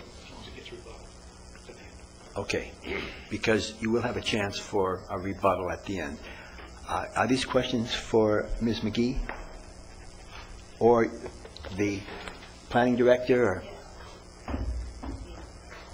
Yes to all of the above. All right, you want to start, Commissioner Dukas? Or Commissioner Onstott? On the issue of mining outside the boundaries. We have heard he has a obligation from several sources to remove dangerous boulders. I'm sure it's in everyone's best interest that that happen. Do we, is there any evidence to support that while doing that, he was actually removing material for the purposes of sale? Well, I'm going to take a quick trip back to my PowerPoint so you can get some visuals here.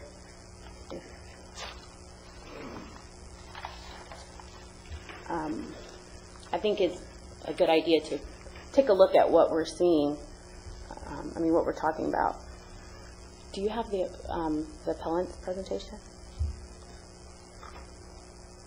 Okay, I think he had a map, but that's okay, I'll just use this one. Okay,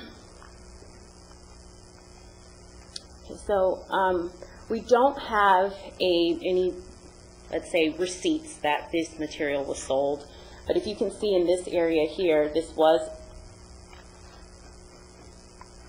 okay, there was a rock failure here, and I think Mr. Mosler talked um, about that, and that is a natural occurring thing. Um, But in here, in the 1.3 acres of disturbance, there was a perch boulder that um, would not have, it's in our opinion, would not require 1.3 acres of disturbance to remove it. Um, And it is in our opinion that those rocks being removed from the site are being used for commercial purposes. Um, In addition, the... Was there a danger there? Yes, There according to danger. The right. Mine Safety um, and Health Administration. And this occurred during his ownership as opposed to a previous ownership? Yes, a a lot of these existed in both times. Okay, Um, And we agree that they totally need to be removed. Okay. Um, There's just a process in which that has to happen. And Mr. Mosler spoke to all the regulatory agencies' requirements. And that happens a lot on mine sites. You have a lot of acres, you have a lot of issues. Um, A lot of regulatory agencies require different things, and it's our, um, well, it's the operator's responsibility to coordinate all of those. Um, If you look at the 1.3 acres, um, I think Mr. Cole talked about the amended reclamation plan addressing that 1.3 acres. Um, I want to speak a little bit to that, but since it's before the State Mining and Geology Board, it's really not a matter of today's discussion. But the 1.3 acres on the reclamation plan also included an additional 1.6 areas, acres to be disturbed, which I can't speak to what happened with previous staff, but if you review the topographic maps and the plan that was submitted, it clearly shows additional acres being disturbed. So that gave us, um, that, that indicated to us that not only was the 1.3 acres um, being di- already disturbed, but they plan to do an additional 1.6 mining, uh, acres in mining area. Well, did they actually do it? They have not done it yet. We have not approved that plan, and again, that's before the State Mining and Geology Board. If someone removes something like that, what are they supposed to do with it after they remove it if they're not going to break it up and sell it? Generally, that's what happens. They break it up and sell it. But, okay, was, in addition to removing the obstacle, did they do any additional mining in that area? It is our understanding that that did happen.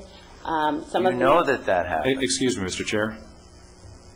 Uh, Mr. Chair, uh, Commissioner Onstott, um, uh, before I speak, I have to issue my own uh, disclaimer. Uh, I am a sitting member of the State Mining and Geology Board. However, uh, I will not be uh, serving in that capacity uh, when this matter goes to the Mining Board.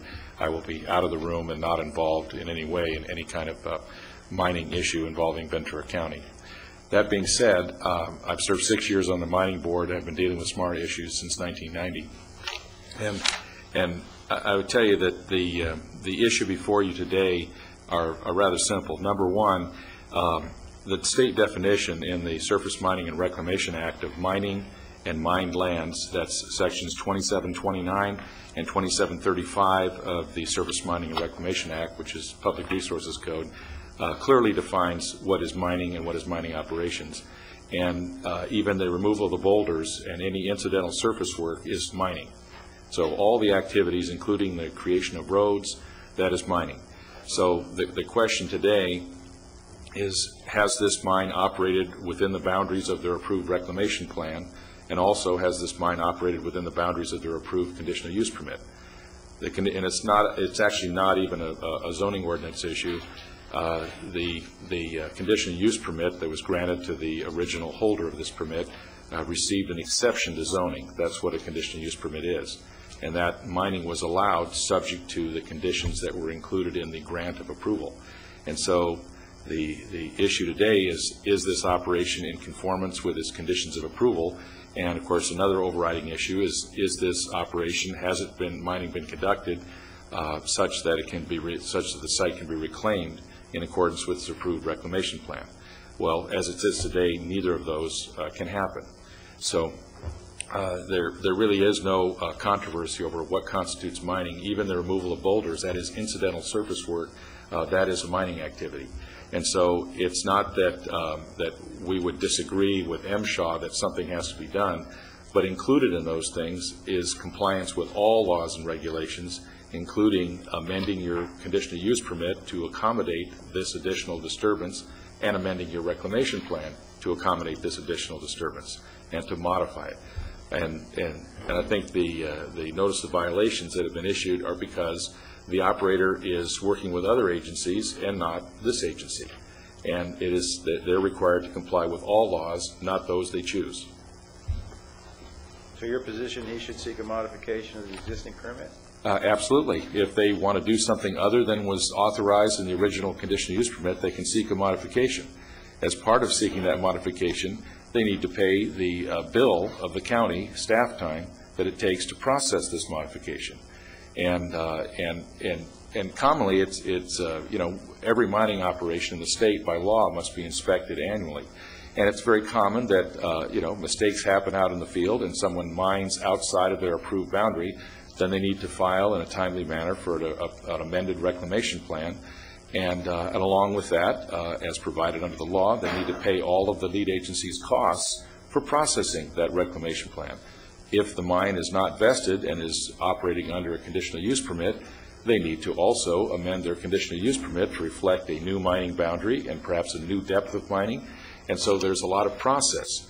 And, uh, and as far as, you know, uh, you know, the terms of the state highway and, and things like that, I don't think we regulate, uh, you know, how a vehicle is operated, but it's clearly within the county's authority in terms of granting an exception to zoning to have a CUP. uh, And it's, it's the case in virtually every type of project like that, that you're limited in the number of truck trips because that's what was analyzed in the environmental document. Um, And I would point out that other mines, and including the ones mentioned by Mr. Mosler, uh, they're under a, a- a truck trip limit under their current permit. And now they're bigger mines, and they have a bigger limit, and they're in a different location, and they have a different CUP. But that's, that's the exception to zoning that was granted in that case. So uh, it, it, this case is very simple. Are they within their mining boundary as defined by their CUP and their approved reclamation plan? Uh, Have they paid their bill as they're required to do by both county ordinance and state law? Uh, And can they reclaim the site in accordance with their current reclamation plan? So uh, it's staff's position that the answer to all three of those is no. And that's it. What is the status of the appeal, and how does that impact this proceeding? Uh, You referring to the appeal to the State Mining and Geology Board? Yes. Uh, It's the, uh, it's the, the right of any operator or any person who's applying for a reclamation plan, uh, if they feel that the lead agency, uh, that in this case, the County of Ventura, has not taken action on that reclamation plan in a timely manner, they can appeal that inaction to the State Mining and Geology Board. Uh, Now, when that appeal goes to the State Mining and Geology Board, uh, of which I will not be there, uh, the, uh, the issue uh, may be, okay, uh, the, the, the local lead agency did not take timely action. Then the State Mining and Geology Board can determine that we will take, that, sorry, I- I let a "we" out there. The Mining Board um, can take the action to say uh, that it will process the reclamation plan. However, the exact same standards apply to the processing of the reclamation plan. Uh, It's still subject to state law and SMARA and all its terms. And, and one thing I'll point out about uh, the county's ordinance, uh, the chapter in the county's zoning ordinance, which involves mining and reclamation, uh, that is law that had to be certified by the State Mining and Geology Board in order for it to go into force. And uh, essentially, the preamble of this is that all mining and reclamation uh, shall be done in accordance with the State Surface Mining and Reclamation Act. So all of the terms of the state act are incorporated into the local ordinance. And frankly, we wouldn't have a local ordinance if it didn't include that because the mining board would not have certified it. And it's very similar in the situation, a parallel universe is when the coastal commission certifies a coastal zoning ordinance. That's the, that's the parallel universe. So uh, this is very simple. Are they within their, their bounds? Have they paid their bill according to law? Can they reclaim according to their approved rec plan? And it's the staff analysis that the answer to all of those questions is no, and that uh, these notices of violation uh, reflect a period of time in which that answer has remained no. Thank you. And to further answer your question, um, Commissioner Onstott, the appeal is to be heard sometime in January by the State Mining and Geology Board. Uh, I I hate to correct my uh, colleague, uh, Ms. Ms. McGee. Uh, The State Mining and Geology Board will not be meeting in January. I know that personally, but it would likely be in February. Thank you. update, Is that 2011 or 2012? 2011. Thank you. Just, just as a point of order, um, are we going to allow our, our Ms. uh, McGee to do her full rebuttal and then take questions? Okay, very good, thank you. Well, we probably should do that now, then. Oh, Hold up, I'd, I'd like to have everything asked of staff um, uh, that we need to ask, and then have the appellant uh, make his rebuttal, so he has, you know, he's not uh, blindsided by something that we haven't uh, addressed in a public hearing. Is, is that okay? Is, uh, Linda, is there any, is there any problem with that? What, what, uh, Commissioner, you want to say? I just want to address questions of, of staff before the appellant uh, makes his rebuttal, so that, uh, so that the process is fair, in my opinion. Well, yeah, the chair can speak to that, whether he wants to follow that. I'll go along with that. Okay. Do you have any more questions? Go ahead, we can go back. Okay. Um, Uh, Excuse me. What, what I was questioning is whether she could give her full rebuttal that would hopefully answer a lot of your questions, and then if we had remaining questions left between staff, we would be able to answer those, because that's traditionally the way that it's done, that we, we go through Uh, I the see. rebuttal of what we've heard. I heard. didn't understand that at- at first. So what you're asking is that she's going to do her rebuttal to Mr., to the appellant, and then she's going to answer his comments, and you, and that may answer our questions. Is that okay with you, Commissioner? If we do that, go ahead. Okay, thank you. Um, There are a couple points that I think are important to address, and the first one was um, that staff hasn't really taken any time to meet with Mr. Mosler to figure out what is, what is necessary to um, abate all of these violations, and that we haven't been helpful. We have had, we've set up meetings with Mr. Mosler that weren't attended. Um, We have sent several letters.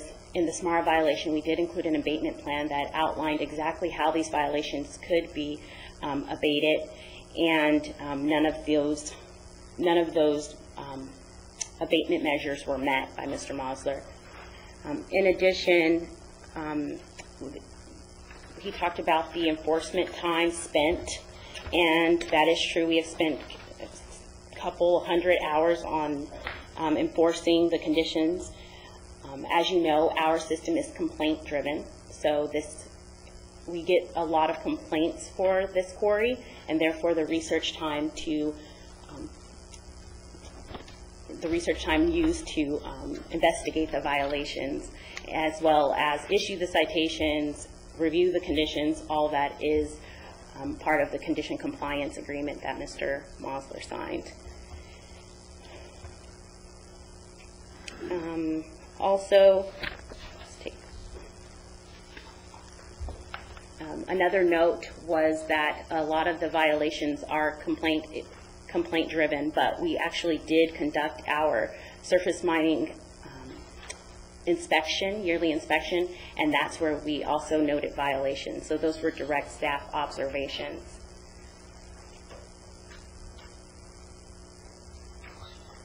And we talked a little bit about the appeal before the board, but it was noted that it's, that the staff had not timely processed the appeal, and that we took a 180 turn. Um, We gave them direction one way, and then new staff gave them a direction another way. That, that didn't quite happen. What happened in the reclamation plan is it's submitted, it's then reviewed by staff, and it's sent to the state mining, and, I'm sorry, the Office of Mine Reclamation for review and comment. That happened, the OMR made comments, sent it back, under the false um, assumption that we determined that it was a substantial deviation from the original reclamation plan. When staff evaluated what was submitted, they evaluated the 1.38 um, areas, area of disturbance right outside of the reclamation plan, and staff did note that that was not a substantial deviation. However, other maps were submitted in between those times that expand the actual mining boundary an additional 1.6 acres. OMR required an, an additional exhibit showing exactly what was being proposed at that time. We never got that from Mr. Mosler. We never processed anything because he never submitted anything.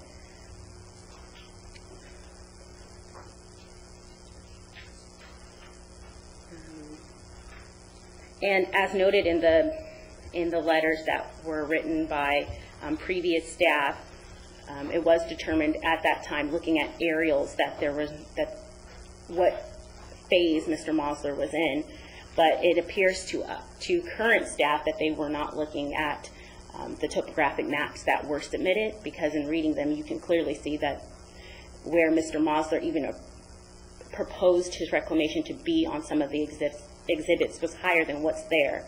So if the elevation, let's just say, is 1,300, and he's proposing 1,325, well, there's a discrepancy because he's already mined or disturbed lower than what's being proposed. So all of these issues need to be fleshed out in the reclamation plan. And again, that's before the State Mining and Geology Board, but it is important that you know that. Um, As far as the equipment list is concerned, it is a requirement that a permit adjustment is submitted for the, the exchange of the equipment. And there, this is a condition that's on a lot of the older mining sites that haven't had a lot of amendments to them. And generally, the process is the, app- the operator submits a new list with a permit adjustment. Then staff will process that permit adjustment and change the condition language to include either the new equipment list or whatever was proposed, as long as it meets, it's within, um, substantially meets the requirements of the current um, permit. Excuse me, I'm, I'm sorry to interrupt this point. You, s- did they submit? No, there has been no permit There is no adjustment submitted permit to increase the number of equip, amount of equipment there? for the 2007 list.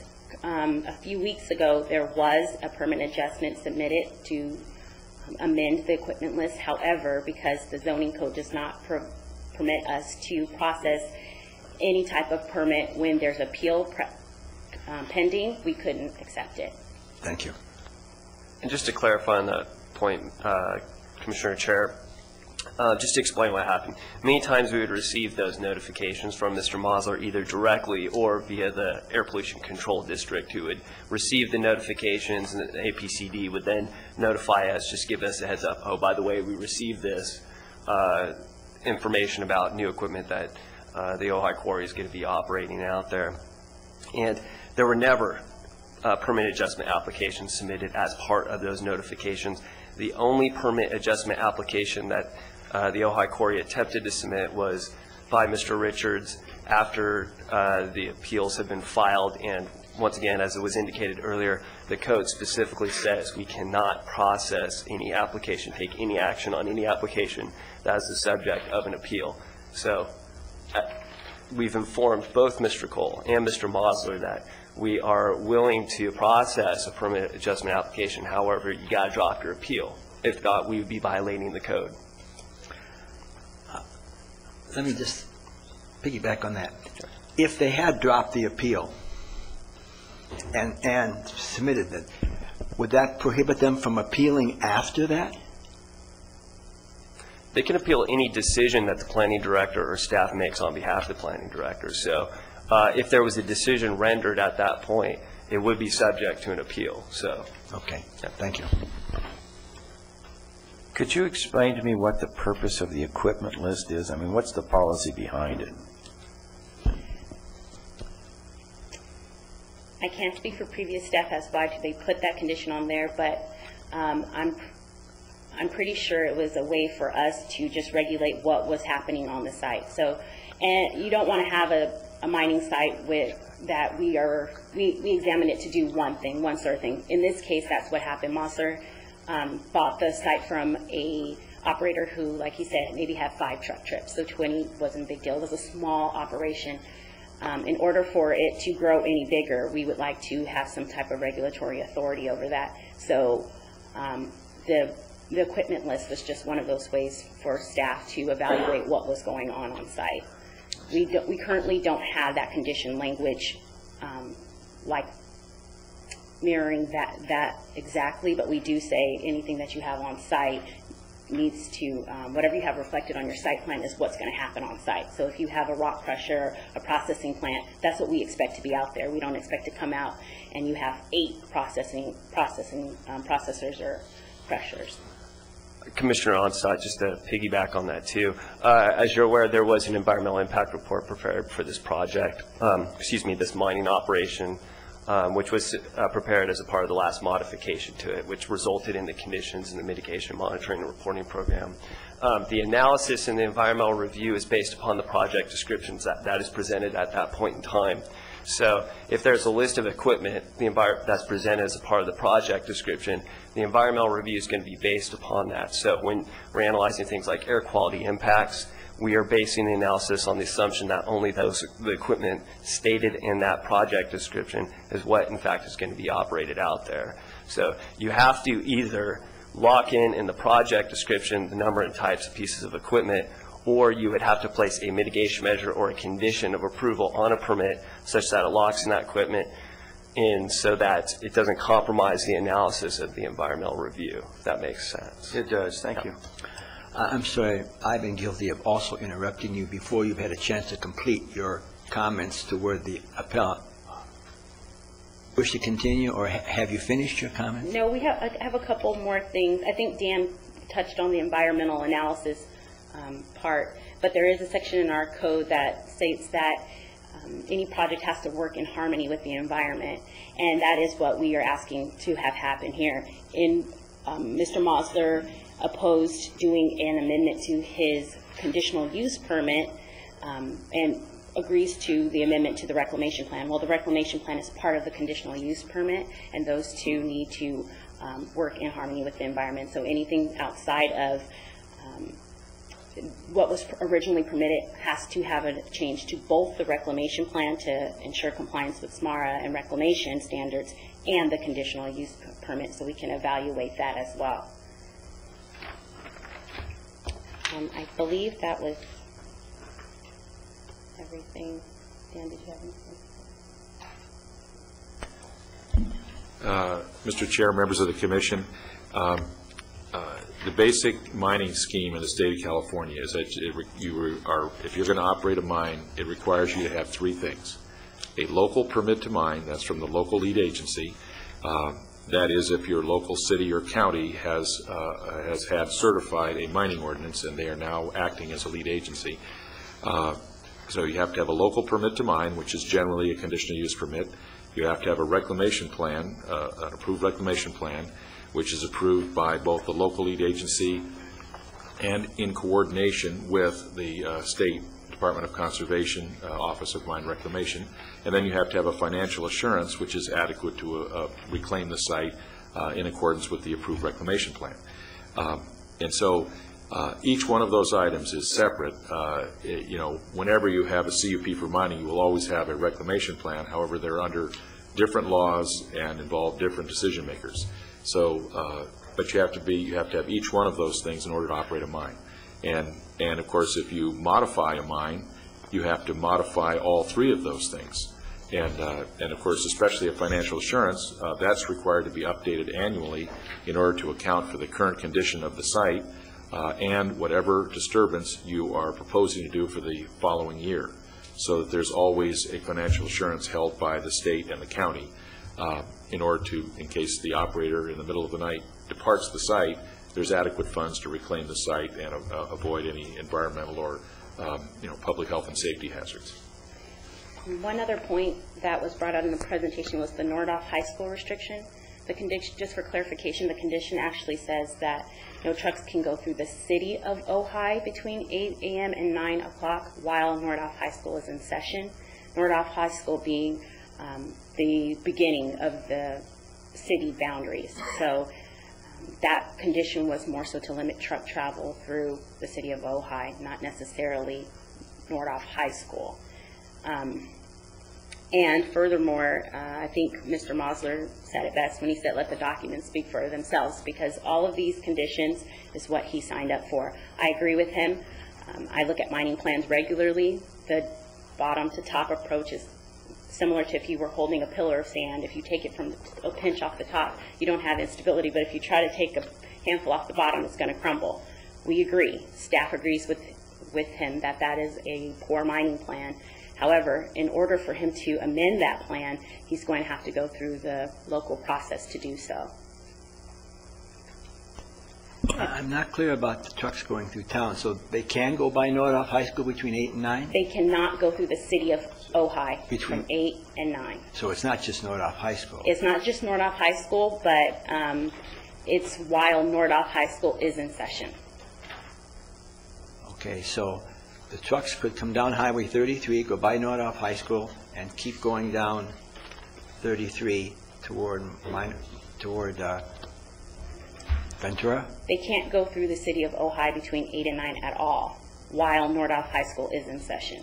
So let's just say Well, Nordhoff just High between School's eight on and a nine. spring break, then they can go through 8 and 9. Yeah, and just to make that clear, if you turn to page 355 of your Planning Commission packet, look at condition number 40, subsection B, which is the condition you're questioning right now. The first sentence states, quote, "The loaded product truck shall be prohibited from driving through the city of Ojai between the hours of 8 a.m. and 9 a.m. on weekdays.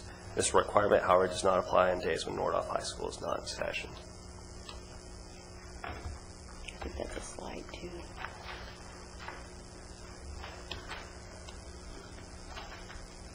It's right here, too, on the slide. These are the, and this is the city limits. So you can see this, the little school bus here, that represents Nordhoff High School, which is more, the boundary, the beginning of the city of Ojai. Okay, just, just to um, have the staff being able to, to finish, I have, I have an important point that I, I want to make, and then Dan wants to conclude with the notes that he made on his rebuttal, too. I really want to be clear on the point that the county um, has the right to condition permit issuance upon state highway travel restrictions. I think that's very important, and uh, it's so important that we actually included the minute order from the Superior Court of California to your exhibit, Exhibit 11, and that is an attachment. And I just want to read you on the last page of that what Judge Reesner had to say. And it says, um, this is the second to the last paragraph, further under CEQA, the California Environmental Quality Act, any public project in the form of a conditional use permit is required to mitigate the project's potentially significant impacts, including those impacts upon the state highways it would be anomalous to undercut the integrity of the CEQA, of CEQA by foreclosing a lead agency after consultation with the State Transportation Agency from the ability to mitigate project-specific traffic impacts upon a state highway. That's a trial court decision. Is that right? That is clear, yes, trial court. Mr. Cole, do you have any appellate authority to the contrary? There has been, Commissioner Onstott, there has not been any... Wait, wait, wait, wait, let's, All right, yeah, I'll- Commissioner, I'll let's, let's hold that, Commissioner. Dan, you had a, you you had a comment? Dan? Yes, I just wanted to clarify uh, regarding the trespassing accusations. Uh, Staff did go out but did not place one foot on Mr. Mosler's property. Those photos were not taken from his property. We were invited by a neighbor to go out, make observations of the mine, and uh, it just so happened to be that the one day that we sent staff out there to do the observations from the neighboring property, we observed these activities prior to 7 a.m. Um, We are not, the notice of violation was not intended to state that Mr. Mosler going to, onto the property before 7 a.m. is a violation. That was not the violation. The violation were the trucks going onto the property. If you read the condition, it's pretty clear. All operations of that mine are only to be conducted between 7 a.m., 7 a.m., 7 p.m. 10 minutes before 7 a.m., it's minor. But the fact of the matter is, we are receiving complaints, quite a few complaints about the operations of that mine. We went out and investigated it, and the one day we got there, we happened to observe a violation, period. And it was not conducted by trespassing on Mr. Mosler's property. Thank you for that. So am I to understand then that Mr. Mosler is able to access his property outside his um, permit hours? Sure, yes. Uh, per- uh, Personal trucks going out there conducting, uh, you know, going onto the site, uh, which don't result in mining operations occurring, yeah, we have, we don't believe that that condition was intended to regulate those sorts of activities. So if he wants to have a barbecue on Saturday, he can do that?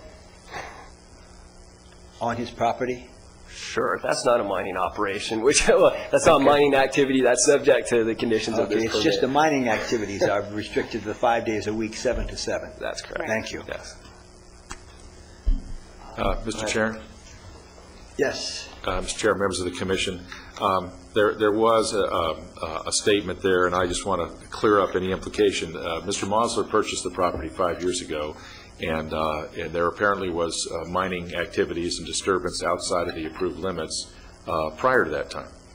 Uh, Well, a a property transaction doesn't change the fact that a violation exists, and when someone purchases property, they accept both the benefits and the liabilities thereof.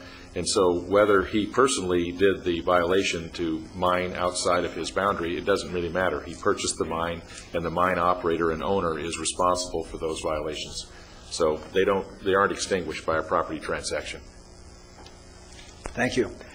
Uh, I think we'll continue with questions to Ms. McGee. I have a question. Go ahead, Much continue. has, much has been made about the distinction in the number of trips regarding, quote, "product trucks." Could you discuss that issue, please, and- and county's interpretation of what product truck means? In our, in staff's interpretation, product was used when the time the condition was writ- written as a generic term for any material leaving the site. So material leaving the site, product of the mine. Um, Further, further review of the environmental report talks about truck trips, and it's limited to 20 truck trips. So the mine is permitted to have 20 round-trip truck trips. Um, Whether, whatever's in them is irrelevant. They can have 20 trucks leaving the site. Is there a similar distinction to the other mines? Do they have this language in it? I believe one other mine may have the permit condition using product instead of material. Um, But as far as we're concerned and as far as um, we, in our interpretation of that condition, it's always been any material leaving the site. Uh, Mis- Thank you. uh, Mr. Mr. Chair, Commissioner Onstott, I'd just like to point out in the Surface Mining and Reclamation Act, and this is uh, Section uh, 2714, um, C, or, excuse me, 2714D, uh, this has to do with uh, the applicability of the Surface Mining and Reclamation Act, and it exempts from the act, and I'll just read the sentence here, uh, prospecting for or the extraction of minerals for commercial purposes and the removal of overburden in total amounts of less than 1,000 cubic yards in any one location of one acre or less. That's, that's the de minimis ex- uh, exemption. Well, obviously, if you're more than that, it talks about removal of overburden.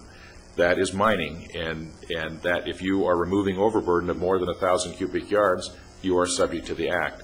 So there really is no distinction between what is uh, saleable product. If you're removing material from a site, you are mining because the, the state is not going to get into the argument of what the price is you're getting for that material.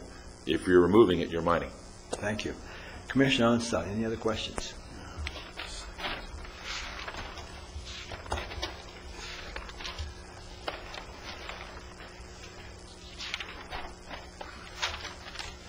You stated that these enforcement proceedings are primarily complaint-driven, although you have an obligation to obviously view the property. Are these complaints coming from any particular source or sources? Because implied here is there's some sort of political vendetta going on against this operation. Where do these complaints come from in general? buttons on, Stop. but yeah. You know, uh, complaints are, are confidential to the county, so, you know, we can't really disclose where the complaints come from. That, that is the confidential nature that we keep, although we do say that, you know, complaints have been filed, but that is not the only thing that happens in a mining permit in the county, right? The, the mining uh, CUP is inspected every year Right. per the requirements of SMARA. So whether it was complaint-driven or not, complaint-driven um, causes us to go out and, and sit on a neighboring property and see if there's anything going on, because we've been receiving the complaints. But the annual review that we do also has led to violations of the permit. So although we can't disclose where they came from, there has been a substantial number of complaints being filed. Okay. If I may follow up on Mr. Onstott, has, can you disclose whether or not the volume of complaints since 2005 have risen, or you've seen a substantially large number in 2010? Uh, Gosh, comparing to 2005, uh, from my memory, yes, the complaints definitely have increased, and they've actually increased in volume over the last uh, roughly 2009, 2010 years, um, particularly in regards to truck trip violations. But then they, they, they expanded, and we started receiving complaints regarding more of the other types of operational features of the mine, including the equipment.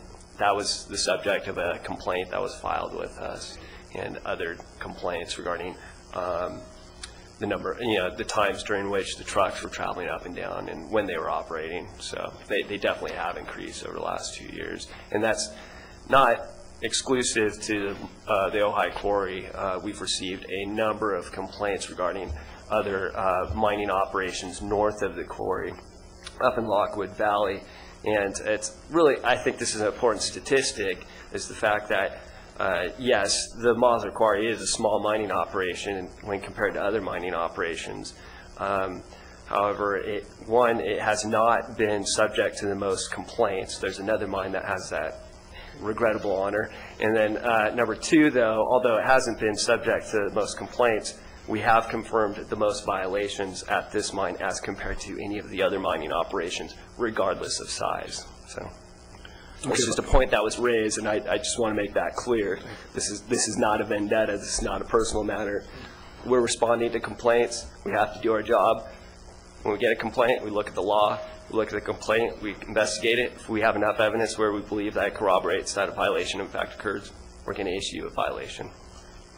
So if I can, on top of that, for Mr., for your benefit, Mr. Onstott, we're going to be accepting into the record our Exhibit G, which is a formal complaint, which it clearly states by the complaining party that they have filed over 100 complaints against the Mosler Quarry since January. So that is public record by the complaint. Thank you. I've got more. Mr. Mosler was complaining about the cost and expense associated with uh, the county uh, participating in the appeal to the state, alleging that the reason it was appealed to the state was that planning didn't evaluate the plan in a timely fashion. Could you elaborate or give me the county's position on that? Sure. Um, In 2008, August 8, 2008, the operator, Mr. Mosler, submitted an amended reclamation plan to county staff. Um, Shortly thereafter, it was submitted to OMR for review and comment, and then again, OMR submitted those comments and required an amended plan. That's what we have um, been working with Mr. Mosler, attempting to work with Mr. Mosler to get this comprehensive plan, because what was originally submitted was not um, adequate for us or the state. Um, With that said, there has, there was an appeal filed um, with the State Mining and Geology Board, and um, all of those, all of the charges that we have to review, anything that goes to them, or phone calls, re- research, we do bill Mr. Mosler for that because he, he uh, made the appeal. So um, while we would like to resolve it at a staff level, and that could have happened if he was cooperative and submitted what we, the documents that we required, studies, et cetera, et cetera, um, then we could have resolved it at a staff level, but he did not do that. He went to the State Mining and Geology Board. Um, The same with the injunction, he filed an injunction against us for doing SMARA, um, enforcing SMARA, as well as there's a law- a lawsuit. So um, the injunction was thrown out, was denied, and because he has not um, exercised his administrative remedies. And one of those is working with staff to resolve this issue, which he has not done. Can anything be im- implied by the state taking this appeal? I would have to um, let our representative here um, speak to that. Um, The, uh, the State Mining and Geology Board does not work by implication. Uh, The, uh, the uh, only thing that, uh, I mean, the, the decision to accept an- or at least hear an appeal uh, is made by the chairman. And, uh, and in this case, the chairman obviously decided that it'd be, it'd be worthwhile for the mining board to hear it. That doesn't mean the mining board will actually take any action. They may decide not to do anything. So it's discretionary? That, absolutely. No, go ahead, I'm sure. Um, I'm skipping around through my notes. Um, Mr. Mo, uh, The the appellant uh, uh, represented that Jensen Design and Survey said that the, uh, the mine wasn't operating outside its uh, permitted removal area, and uh, you have uh, submitted these, these aerial photographs. Um, What evidence besides the aerial photography uh, does the county have to, to show that he was operating outside his, uh, his removal area? Well, there's a couple things. One of them is the reclamation plan that was submitted, and I have a copy of that, but not for the overhead because it has topographic lines that are very difficult for you to see. But if you read the topographic map, you can see the elevations, and that's one thing that hasn't really been touched on. And it's not just the surface area disturbance, it's actually the depth. So there are some areas within this mine today that are below what was even proposed on the reclamation plan. Um, I believed Mr. Cole had a copy of um, the reclamation plan that was submitted to the State Mining and Geology Board exhibit that showed the elevations on it. Um, Our uh, engineering geologist, Jim Otusa, could also um, speak to that because we review the plan and um, as Mr. Cole pointed out, some staff is not um, necessarily trained to read topographic maps. I reviewed them. I reviewed them with Mr. um, Otusa, and we both agree that there is some mining that is deeper than what was proposed in the reclamation plan, the original reclamation plan, and the amended reclamation plan.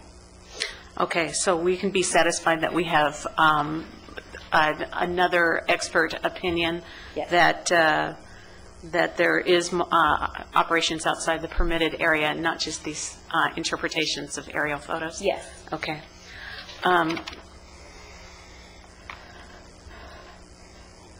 If you would like, we can call Mr. Otusa up to evaluate what he's seen on the plans that were submitted to him as well. No, I just wanted to make sure that we weren't just looking at a- an aerial photograph and No. thinking that we, we could we uh, have- interpret something from that. Yes, we look at the elevations as well.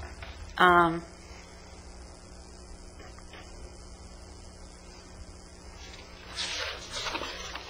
Some of these questions have already been answered.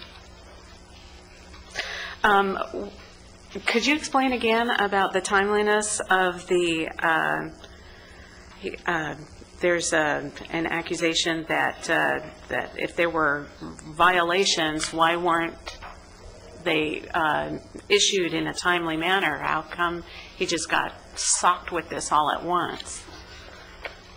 Well, Given that some of the uh, violations were, in 2008. Yeah. We did issue one of the violations in 2008. It was not appealed, but nothing happened with it, um, and that was mining outside of the boundaries. Annually, as we've stated, you're supposed to do a um, SMARA inspection. The previous SMARA coordinator was to go out, evaluate the site conditions, make a report to both um, our internal um, management team as well as OMR. Those violations were not noted that was an error in staff um, interpretation of what was happening on site. Um, 2000, we did our inspection last year, we we did noti- notify the state that there are violations. We have notified management there are violations. And again, a lot of the violations that came in 2009 were complaint-driven, but some of them were based off of our SMARA inspection. So why previous staff did not issue the violations, I can't speak to that. Um, Maybe Mr. Richards could, since he was there.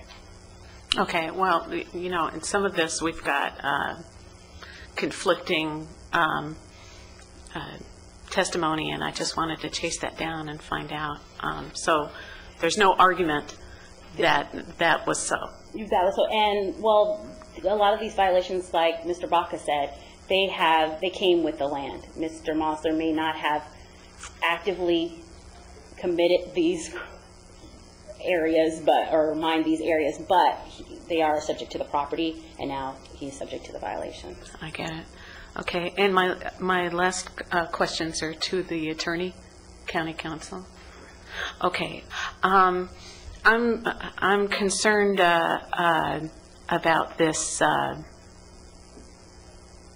perception that um, Mr. Mosler is uh, assumed guilty and he has to prove himself innocent. um, uh, he said that, that, he said in his testimony that he was, he was guilty and he had to prove himself innocent. That there was this, um, you know, he's a violator and he's a, and, uh, a killer of fish, and, um, you know, all this other stuff, and that he, he has to prove that he doesn't. Could you speak a little bit to the, to the process of, of uh, what his, um, what the assumptions are and what his redress is if, uh, you know, the different avenues um, to, um, to get this worked out? Well, it started, I think it's probably best to start at the beginning from what I know. I just know what you know from reading the staff reports. The staff has gone out, they've received complaints, they've apparently investigated the complaints, and they have opined, and based on the evidence before them and that you've heard today and in the staff report, that there's been um, a number of violations. And they've documented those violations. And now Mr. Mosler has appealed those violations, and now he is presenting evidence to say those violations didn't occur. So what's really before you right now is to decide, he's not guilty, he's challenging those violations, and he's putting on evidence, and you're going to decide, did those violations occur or did they not occur? And at the end of this hearing, you'll either uphold his appeal and say, no, we don't find that there was evidence that those, those violations occurred, or you'll find that um, they did, or, you know, we can get into some of the legal issues, but strictly talking about from a factual basis right now. And then, from that point, he has uh, an option to appeal your decisions to the Board of Supervisors, and from there, he ultimately can go to court and file a writ of mandate and say that, you know, whatever final decision-making body, what if it goes to the board, what they finally decided um, was an abuse of discretion or not. But, no, he's not proven uh, guilt, assumed to be guilty. The, you have, you as, that's what the planning commission is doing here. You're looking at the evidence as to whether a violation occurred or did not occur. Thank you very much. Commissioner Wessner. Yes, real quick, just two simple questions. First of all, since we have a resident expert from state mining, I appreciate that. Is there a term of art or a definition to the term product trips that's been defined? Um, Commissioner Wessner, uh, through the chair, uh, I I don't think that would be uh, something that would be capitalized. So in other words, there's no term of art that a lot of us do in our own professions, nor is it defined as far as you know anywhere in the State Mining Act. No, no. And, and as I said earlier, uh, the, uh, the, the the preamble to the law, which is the section which says whether you're subject to it or not, uh, refers to the removal of either uh, mined material or, or overburden, product or overburden. So, so there really is no difference. If you're removing overburden from a site and it exceeds 1,000 cubic yards, you've just engaged in a mining operation, whether you argue that it's not valuable or not. It's the act of removal of more than 1,000 cubic yards which trips the Surface Mining and Reclamation Act. So then my Prior to that, you're just doing grading. so then my understanding is then the staff's position is that they base the trips in the, based on the environmental impact report on traffic. Uh, Well, I mean, uh, part of the approval of the CUP, that was the analysis in the uh, document. If there's going to be some alternative that, re- that would involve additional trips, that would have to be uh, analyzed in an amended environmental document. Okay. Uh, My last question is, uh, we've heard testimony, the equipment list was presented, uh, 06 and 07. Um, I've also heard the fact that at the time that the list would come here, since it's a discretionary approval by the planning director, that there should have been a permit modification submittal at the time. So what happens at the counter when this list comes up? It- Was he requested for that modification, or do we know? In 2007, that did not happen. What happened was the equipment list was submitted directly to staff and never um, applied for at the counter with a permit adjustment. But my question is, when somebody comes to the counter who's not that sophisticated, here's my equipment list according to the rules. At that time, is staff have the burden to advise them that they need the, to application for the permit? Yes, they should tell them that they need a permit adjustment to mine any condition, not just mining projects, any condition requires a permit adjustment. All right, thank you. That's all I have. I just have one fast question, and then we'll, we'll take a short break before the appellant has a ch- chance to rebut. Uh, Were there any violations that have, that Mr. Mosler corrected? I know some he couldn't correct because of the appeal. Were there any other violations that he has worked at to correct that he could at this point? County violations? Yes. Not not to my knowledge. Okay. Thank you very much. Let's take about a five, 10-minute break, and then, Mr. Cole, you are up.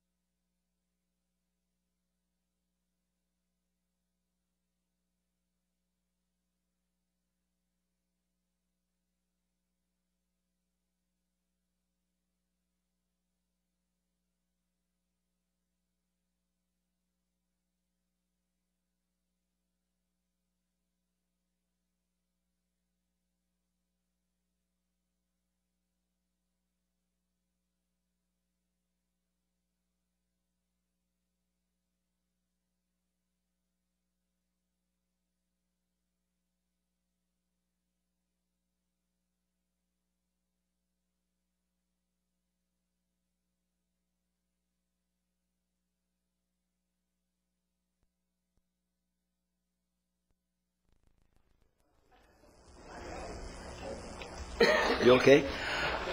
Uh, Mr. Cole, during the break, someone submitted another card to speak. Okay. So I'll, I'll take that before you rebuttal. Thank you. All right, I have a card from his, I can't, is this Coleman Epstein? Is that who it is?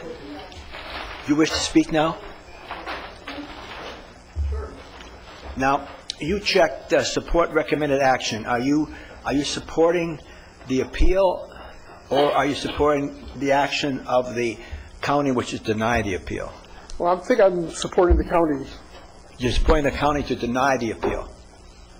Yeah, I don't know the terminology here, but uh, Just go- essentially, Go ahead and say what you want. well, I'm the, uh, I'm the owner of the property, which is uh, 15450 Maricopa Highway, which is, I'm sorry, your name again, it's Mr. Coleman? would you state your name again as well as your address? Coleman Epstein. Okay, thank you, go ahead. And uh, I border on, uh, my property line borders on the property line owned by the Rock Quarry, by Graylar, uh, a north-south property line. And Graylar, uh, Rock Quarry, whoever uh, is in control, has passed uh, on the, uh, on the east side of the property line into our property and has done mining on our property. He's taken rocks, he's taken material, and as described, uh, that uh, removal of rocks is, uh, is mining, he has therefore mined on my property. And I have uh, issued complaints to the county on this, and the county has, uh, has really not acted in my behalf on this. I don't know what else I should say is that uh, pertinent to this uh, action that you have. Uh, Mr. Epstein, when has this taken place? Pardon me? When has this mining taken place on your property? It started soon after 2005 when the new owner took over the property and uh, accelerated. Is it still going on? Pardon me? Is it still going on? Are they still mining on your property? They have uh, put a fence on my property, they've removed the rocks on my property, so I would assume that they are still doing active work, but I don't know. Okay, thank you very much. Do you wish to say anything else? Uh, No, thank you. Thank you. All right, Mr. Cole, uh, this this is your uh, rebuttal. Thank you, uh, Mr. Chair, members of the chair. A brief response. Uh, Mr. Epstein has a lawsuit pending against my client. Uh, We deny all of those allegations, um, and I'll just leave it at that. As for the issues that arose, that that we're here for today, um, I I think what I have on the screen is the exhibit that we had prepared in our presentation. I realize you have to strain a little bit to look at that, and I apologize.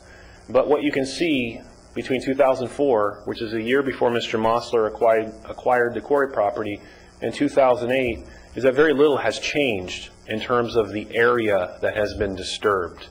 Uh, what you have, frankly, is that not much, if anything, at the quarry has changed. What has changed are staff's interpretations. And, and, and I'll elaborate on that, but basically, what we have is a situation up until about last year, things were moving forward. Mr. Mosler was processing his amended reclamation plan. He did what staff had asked him to do.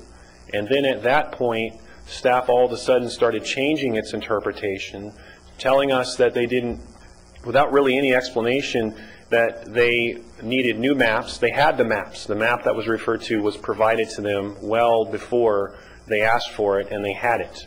Uh, OMR, the Office of Mine Reclamation, never uh, did not send any word to the county that it couldn't process the uh, reclamation plan, that it, it needed a copy of a map that had already been provided to the county. So OMR never said, we can't do this, um, you know, this, this reclamation plan is inadequate. That never happened. What happened is that staff's interpretation changed. And, and I want to go to another exhibit, this exhibit here, and I want to point out that in 2008, you have 101 hours that was devoted to Mr. Mosler's operation. Those issues, those 100 hours, I'm not going to say every single one of them, were related to this boundary issue. There was an extensive analysis that your staff did that led to the citation of Mr. Mosler in early February 2008 for, for mining outside of his boundary. We didn't contest that citation. Mr. Mosler wanted to, but ultimately, he he worked with Mr. Richards and he moved forward with what staff had requested, which was to prepare an amended reclamation plan. But the, the, the image that I get listening to staff's presentation is that that analysis must have been perfunctory, it wasn't very complete, and, you know, nobody really looked at the issues, and then all of a sudden now, things have changed, and so there's all of these new conditions on the ground that staff has to deal with that nobody dealt with. That is not true. If you look at that exhibit, 100 hours were spent in 2008. That, frankly, there were no trucking violations at that time that I'm aware of. The issue at that time was a boundary issue and was an issue with the reclamation plan. So I, I, I, I fail to see how any staff could spend 100 hours doing a paltry job and not doing their job. So commissioners, what has happened is that staff has changed its position. It's not that the conditions at the quarry have changed, and I'll go back to this exhibit. It takes a while to call up the, uh, yeah, there we go. The conditions on the ground are essentially the same. Now, there has been mining that has gone on in the past four or five years, absolutely, but this is the smallest quarry in this county. This quarry has not produced more than 50,000 tons in any one year in that five-year period. Now, 50,000 tons to all of us may seem like a lot, but in a mining business, that is very, very small. The State Mines and Geology Board has issued what's called a small reclamation plan form, and that's the one that my client has used, indicating its understanding that something below 50,000 tons a year is a small mine. So you have a small mine that is limited in its truck trips and limited in its production. So very little has changed these last five years. But at the same time, as we go back to that exhibit I just showed you, your staff in 2008 and in 2009 spent a ton of hours working on this quarry. It's not as if they didn't do anything. It's not as if they said do this and didn't do their job, didn't do an engineering analysis. That's not true. So somewhere from that point, things changed. And obviously we're here today to talk about that, but I think that's the context that I really want to get through to this commission. The conditions haven't changed. It's the interpretation. Now, going to the boundary issue, and, and I appreciate and I respect Mr. Baca's comments uh, on the definition of mined lands and mining, and, and, and certainly as a member of the State Mines and Geology Board, he certainly has an intricate understanding of SMARA and what SMARA does. But SMARA is a reclamation statute principally. There are mineral conservation components of that law which are not applicable here, so it's really a reclamation statute. So yes, SMARA does define a surface mining operation to include things like stockpiling, to include things like haul roads, to include things that don't involve actual production. The reason being is that it is the policy of state law that every aspect of a mining operation needs to be reclaimed, needs to be turned into something productive.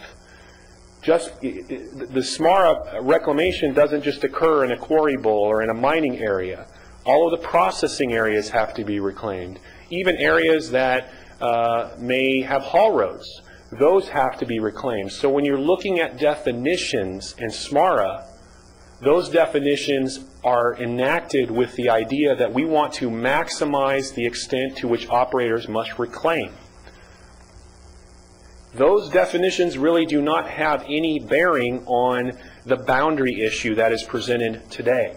And I'll, I'll ask that you look, I apologize that the county's exhibit is larger, but if you see those little colored lines, that's the phased mining areas. That is areas where there will be long-term production. In other words, you're going to get big quarry equipment literally digging out a hillside. And the mining plan, as Mr. Mosler explained, is to go from the top to the bottom. And so what, and it's a phased mining plan. So when you finish in one phase, the idea is that you would reclaim that phase before you go to the next phase. And that's important because that is, that is a very significant undertaking to, a, to phase, to reclaim an entire phase of mining, which is what Mr. Mosler will have to do when he's done mining in that area. You have to uh, recontour some of the lands, you may have to revegetate some of the lands. Uh, so that's a large undertaking. What's going on to the right of the areas that are shown by the red arrows that you see, excuse me, and then I'll show you the, the other red areas. To the right are the perched boulders. That, those are not mining per se. Now, I will acknowledge for the record that once Mr. Mosler pulled those boulders down, he did run them through his crusher. And so I, those, I presume, went in with some saleable material. So yes, the boulders that were removed wound their way into uh, whatever jobs were filled the day they were crushed. But as far as actually long-term, sustained pulling of material out of those areas, that hasn't happened. But more importantly, under the reclamation plan, the amended one that we've submitted that the county has not acted upon, those, at, those areas will be reclaimed. In other words, they will not ever be touched again for purposes of active mining. Mr. Mosler has no intent according to his current reclamation plan, to mine those areas. So what your staff is saying is that he needs to amend his phasing area to go into areas where he never intends to actually mine on a long-term basis simply because of this esoteric definition that they have of mining, which even if you accept it, it has zero practical uh, benefit whatsoever. And that's a point that, that I haven't heard your staff addressed. How is Mr. Mosler supposed to go mine an area? How, is he supposed to include a phased area for mining when he doesn't intend to ever mine that area? The area that you see below, the, area, the arrow to the left, you see the road, that's a steep slope. And then he's got his processing area. He's never going to mine that area. He couldn't mine that area. So why do we need to amend the boundaries to include that area? We've tried to explain this to your staff. They've never listened. And I understand that, yes, we have exchanged phone conversations, we've had emails, but we've had a significant problem communicating. Uh, and, and perhaps it is my fault, and I'll accept responsibility if it is. But we've tried to explain these things, and, and they just don't get through. But what staff is asking makes absolutely no sense whatsoever. Now, this raises an issue that Mr. Baca did raise, is what about reclamation? Yes, the area needs to be reclaimed. Absolutely. That is why, and the area is shown with the red arrows, that is why Mr. Mosler submitted an amended reclamation plan. That is why Mr. Richards reviewed that reclamation plan. And not only did he review that reclamation plan, but there was an engineering analysis that I understand not only involved Mr. Mosler's engineer, but your own county geologist. And that involves probably a substantial part of those 100 hours I showed in 2008.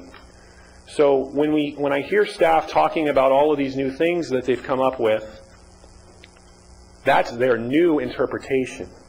And on that point, I, I just heard for the first time today some analysis about how the contours of the reclamation plan are different. I've never heard that before today. And so I, I have to advise the commission, I, I am not in a position to adequately address that because that's never been raised to me. What we got were notices under SMARA that we're violating our reclamation plan and a notice to comply, which is essentially the beginning of the enforcement proceedings under SMARA. So we got these letters sort of from on high telling us we're in violation, but we've never actually had an explanation why our reclamation plan was not sufficient. The only explanation I can think of is what I just heard today, which there is a 25-foot difference between this contour and that contour. And, and if Mr. Otusa, your county geologist, has done a recent evaluation, fine. Uh, I'd certainly like to see that. And Mr. Mosler has a geologist and an engineer, and perhaps they can see that too. But, but this has never happened before today. And as far as the reclamation plan, yes, the State Mines and Geology Board chair has accepted that, but under the statute, the way the appeal statute is written, The only, there are only two possible conclusions to that appeal. Number one is that the board, State Mine and Geology Board will approve the plan, and then that becomes the plan. The only other option is that they reject the plan, but they have to describe the specific aspects of the plan that need to be corrected, and then that gets submitted back to the lead agency. So there isn't any way for the State Mines and Geology Board, under the statute governing these appeals, to punt. So when we go before the State Mines and Geology Board in February, if that's when we're holding the hearing, which is still up, up in the air, um, the plan may be approved. And if it's not approved, the, this- the, the board will tell us the specific things that need to be corrected, and then we will correct those. But there's not any further discretion that the county has over the reclamation plan, and that is the consequence of the plan appeal being accepted. Uh, So I, I- need to advise this commission of that, that, that that's a significant step. As for the remaining issues on the equipment list, there was a question, I I don't know, Commissioner Onstott, if, if it was from you, but the idea was, what is the policy behind having an equipment list? Um, I think the real policy, from what I've seen in some other operations, is to prevent operators from having equipment rental businesses. Uh, What a lot of, well, not a lot, uh, what some operators will do is they'll park vehicles that are unrelated to their quarry activity, and then they'll use those to transfer them to other operations or for their construction jobs. And, and what happens is you have all this heavy equipment coming onto the quarry that isn't necessary for the quarry operations, which creates an environmental impact.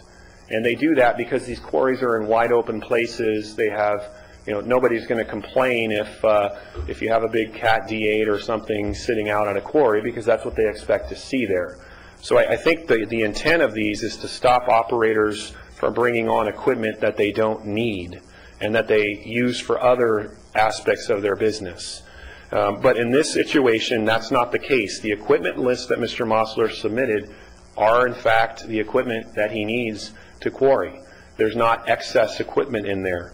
And then also, as far as the environmental conditions, you're not going to trigger any new impact from what was studied before because uh, it's the same, it's quarry equipment. It's stuff that Mr. Mosler needs for his quarry. There was a- question, finally, well, two additional issues on the trucks. Um, And again, I I think Commissioner Onstott, this may have been your question. There is no specific published appellate decision on quarry truck trip limitations. Um, Vehicle Code Section 21, the annotations are fairly sparse. The annotations typically deal with, uh, the few cases I've seen are uh, situations where cities tried to block off certain roads or do things like that, and it wasn't expressly authorized, and so the court said, if it's not expressly authorized in the vehicle code, you can't do it. And the most recent case that I can think of involved uh, the transportation of sludge from Los Angeles County to Kern County. There is a reported decision. Uh, I don't know that it's on all fours with the truck issue. I, I think it's persuasive authority. I, I, I see today that the court here, a trial court decision, um, has rendered some decision that's contrary, and, you know, quite frankly, I think that's incorrect, because Vehicle Code Section 21 says local agencies may not adopt or enforce any ordinance that, unless it's expressly authorized by the Vehicle Code. Well, the enforcement of a surface mining ordinance is an enforcement of an ordinance under Section 21. The uh, enforcement of a zoning ordinance is enforcement of, of, of a um, ordinance under Section 21. But the issue will be litigated. I know I, just, just so the commission understands, I'm active in the Trade Association for Mining Operations. I do a lot of work for operators, and this issue has come up. And quite frankly, the industry is looking for a way to litigate this issue, but it simply hasn't arisen yet. It will at some point. I hope that it doesn't have to be here, and that's, you know, we're trying to avoid that. But I think we've, we've laid out the legal issues on that, and I, I think frankly, that's a legal issue that's going to have to be worked out. Um, Finally, and then a concluding comment, on the bill, um, the bill is simply put excessive beyond belief. Uh, It's not what, whether the, what the fees are, we acknowledge that we have to pay some fees. reasonable enforcement fees. Mr. Mosler does not dispute that. The cost, reasonable cost of an annual SMARA inspection, reasonable cost of code enforcement, we don't, we we acknowledge that those costs have to be paid. But as we will address with staff and perhaps to this commission at a further date, the bills that we have seen are, are excessive. And if, if I were, as an attorney, to bill in that manner, I would find myself without clients because they would be questioning my bills. Uh, they would be questioning all of the running up of the tab uh, that goes on. I mean, we have situations where we have three people going out on, on an inspection. I think the uh, inspection in March 30th, for instance, where Mr. Mosler, uh, the pictures that you saw of the trucks going in, my understanding there were three county employees that went out on that inspection. They got there at 5:30 in the morning and didn't see anything at all until 6:45 that morning. So they were standing there for about an hour and a half, three of them, and uh, presumably billing the quarry for their time. In conclusion, first of all, I appreciate the commission taking the time. I think we're now into about uh, nearly four hours, and, and perhaps deliberations will take us well into the lunch hour and beyond. All we ask is that the commission give us a fair consideration, which I have no, uh, no doubt will happen, but we're just having a real problem communicating with staff and, and understanding their positions. Uh, Your staff have been very professional to me. They've been very courteous. They've been very nice. So it's not anything like that. It's simply the positions they've taken I simply can't understand and I think are not supportable. So we've laid out the relief that we've requested in our letters. I think all of you know what we're asking for, which is to deny uh, or to sustain our appeal as to each of the grounds raised. Thank you, Commissioners. And, and if you have any questions, I'm happy to answer them. Any questions? Thank you, Mr. Cole. Thank you. Um, Are there any closing comments of staff? Yes. May I speak? Because when the other side was speaking, everybody was joining in over there, and I'd like to have an opportunity for some rebuttal, if I may. Go ahead. The, one of the major things, I'm here represented by counsel, all right? I, I think that I am fairly intelligent and understand this business fairly well or whatever, but I'm doing battle with government. Now, my counsel is a mining expert. He has written a book on SMARA. To my knowledge, the only book that's been written on SMARA, how it works, the rules, regulations, and everything. He's out of Roseville, California. So I went the distance to find someone who's extremely knowledgeable in this field. Now, I have tried myself working with the county. When Pat was there, I was able to work with him. Today, I'm not able to work with the county. And I don't believe it's just because I'm the proverbial hard ass or whatever, or what part of no didn't I understand, whatever thing might be. Derek is running the show for me at this time per my request because we have to go through and do the administrative process, create the paper document to where everything is finalized properly. Now, he made good points about the fact that for whatever reason, this thing now has blown up and stopped. It's, you know, we're at an impasse. We need an impartial jury to take and look at this stuff with an open mind and say, okay, take the hard feelings out on this side, take the hard feelings out on this side, and come up with some logic here. Because all of this stuff just, look at the bills from '08, uh, the time and whatever, and you look at it today, and it's, it's here today. The, um, now, as far as my equipment goes, Every piece of equipment that I own is permitted with the state of California. There's a new law that has come up, it's called the PERP program, that every piece of construction equipment has to be permitted. And it's mainly for government uh, knowing what you have so that they you they can force you to get rid of your older equipment and it all comes down to air pollution basically which is fine. But I wanted everybody to know every piece is permitted. Not listening to these people and thinking oh well I'm just running up a bunch of equipment up there that uh, they don't know anything about and all this business. Now whenever I took over the mine and Uh, I read my conditions and previous owner had five machines there or whatever he had and I had more. I'm doing more, it requires more equipment and whatever. So I submit to the county a letter with the list. Here, you know, I'm a miner. You know, some people think I'm a dumb miner. So I think I'm doing what is required of me to do per my conditions. I sent the letter, here's the list, okay, county, act on it. Guess what? I should have known, and making an assumption, I should have known, oh, well, I have to submit a permit adjustment or whatever uh, in order to do this. But guess what? Nobody ever told me about this. I don't have 40 hours a week that I can sit in an office and read all the county's books and get up to speed and have this attorney and then this other attorney.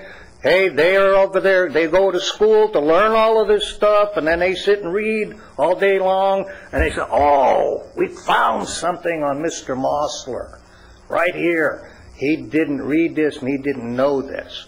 Well, guess what? I'm guilty. I didn't know it but I sent three letters to the county. That should have shown my intent as to what I wanted to do. I wanted to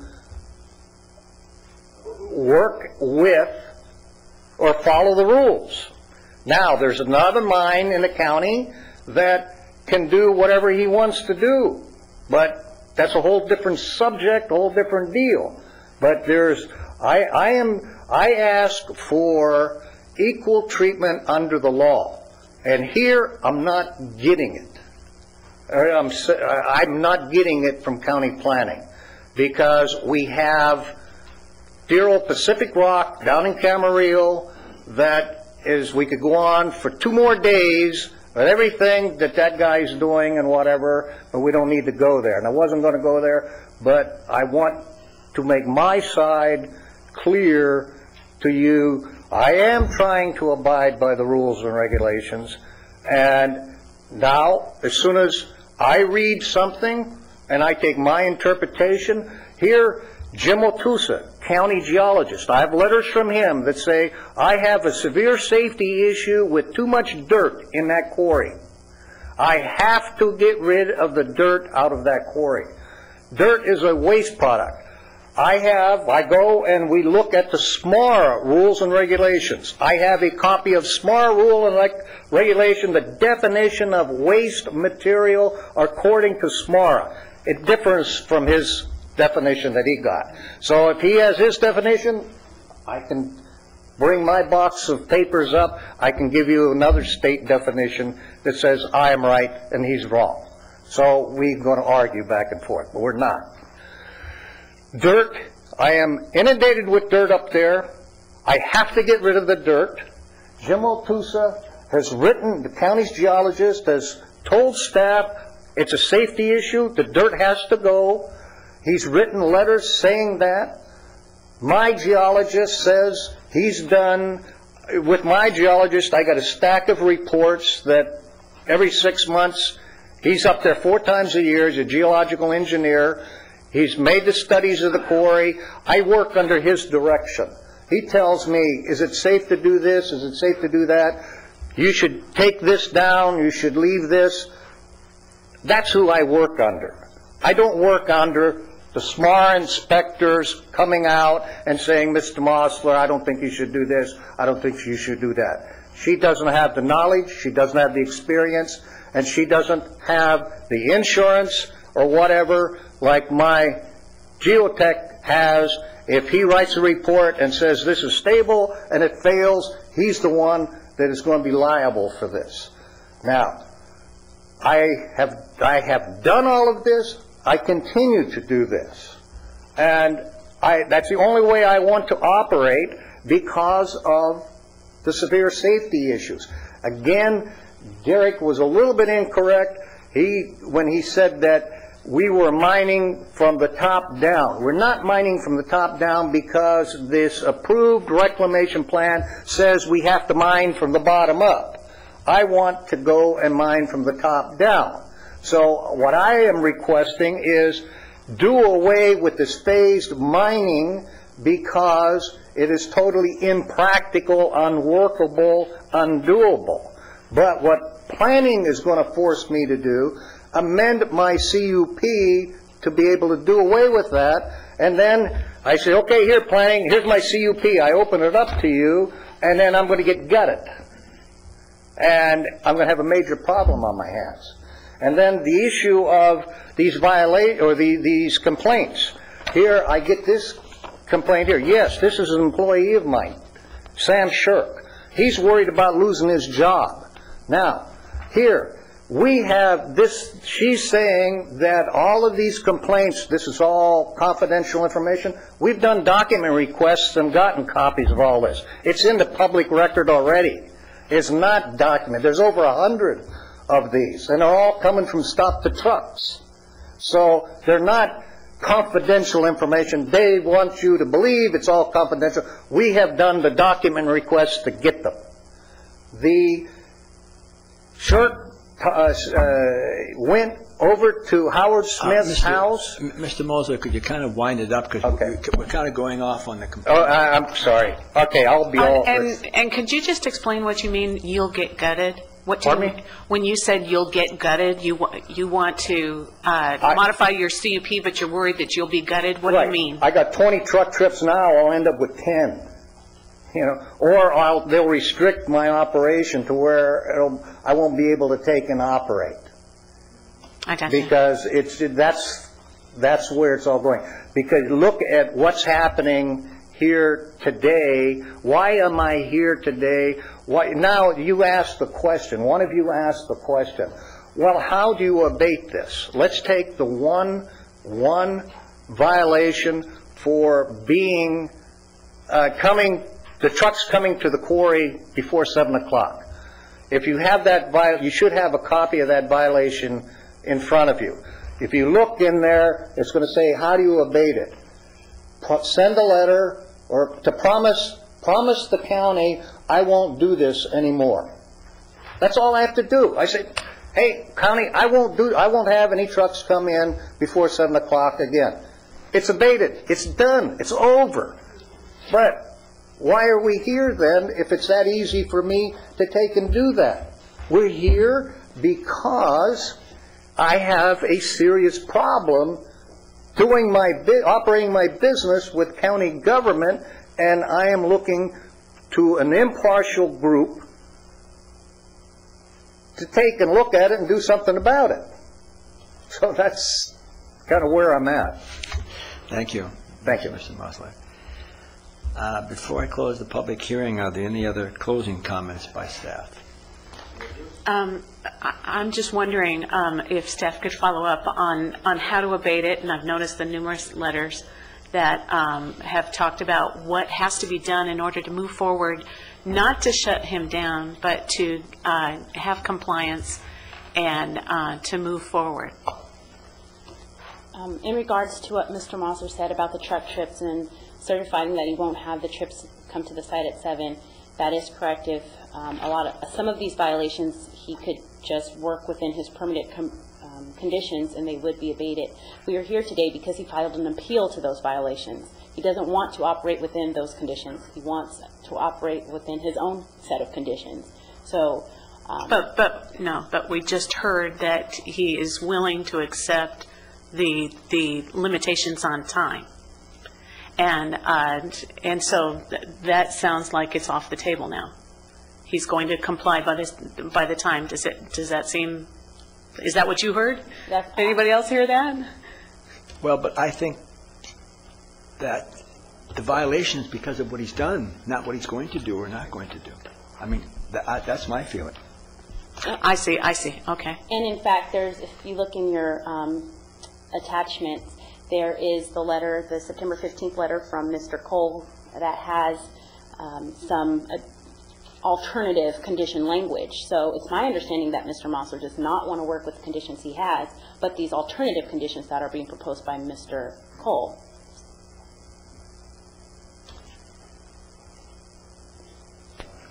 Uh, Mr. Chair? uh, Members of the commission, uh, if I may speak for a moment.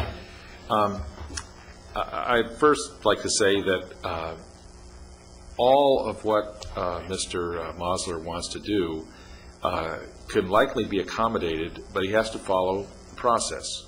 And the process is to uh, file for a modified conditional use permit and file for an amended reclamation plan and go through the process. And in terms of his fear that somehow his operation will be gutted if, his, if the CUP is reopened and reheard by the county decision makers, well, that's the way it is. He purchased the property with a certain CUP that had certain conditions on it, and if he wants to go outside those conditions, he has to apply for a modification. And then it's a judgment by the county as to what that modification will entail. Um, that being said, uh, Mr. Cole mentioned something uh, which I, I thought was quite remarkable. He said that uh, all this additional equipment on the site, uh, well, it's okay, it's just for the mining, uh, uh, it's just for the same mining that we're going to do anyway. Well, the problem with that is that uh, in the environmental document, the emissions and perhaps noise of a particular set of equipment was analyzed, and now they want to use different equipment and, and, and a lot more equipment, and, uh, and he just announced that he'd concluded his analysis that there wasn't going to be an impact. Well, we prefer to analyze first and come to a conclusion later, and that's the purpose of applying for a CUP modification.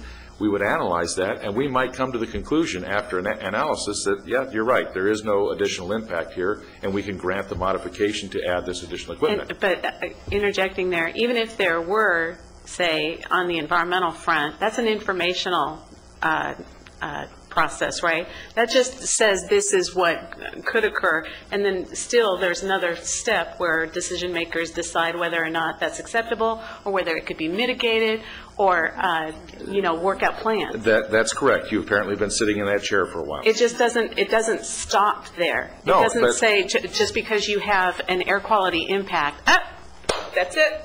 No, uh, Commissioner Duke is exactly correct. I mean, that's why we have a modification process to review these issues, and it may come back to you with staff's recommendation that there's no additional impact. And then you would decide. uh, But, but to, but to argue with that, even if there were an impact, You can still you approve could it. deal with that impact. Yes, Okay. yes, it's not a a certainty. Uh, One thing I'd like to point out, I'm looking at the aerial photographs on the map, and I I would submit to you that uh, I'm a pretty experienced uh, reviewer of aerial photographs and maps in general. Just to let you know, my background, I'm a certified engineering geologist and a certified hydrogeologist and a registered geologist for the state of California.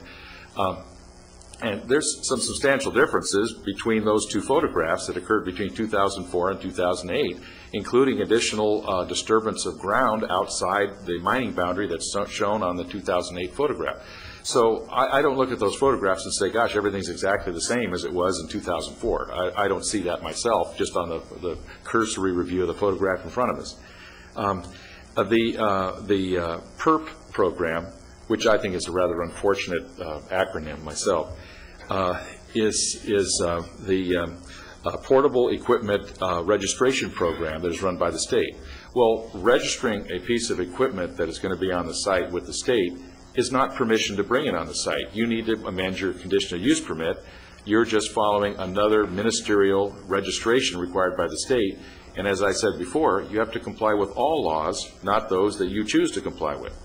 And, and so that has no bearing, you don't automatically amend your CUP because you've got a, uh, you register a piece of equipment with the state agency. Um, And, you know, and, and I think, uh, uh, sure.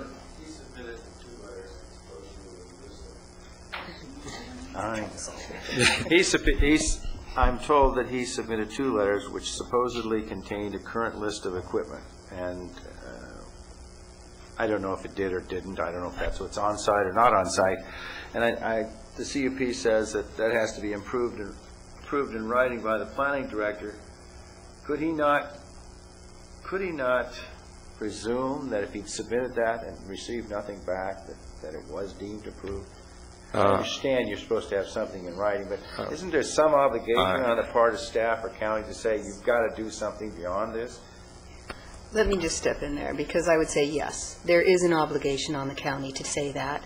And um, I don't know what happened with the prior SMARA coordinator. She should have made that. It looks like it came to her attention. She should have brought that to her manager's attention, who should have brought it to mine, that saying, here, planning director, here's a condition, staff has looked at it, the manager has approved it, and now it's here for your um, review. That did not happen.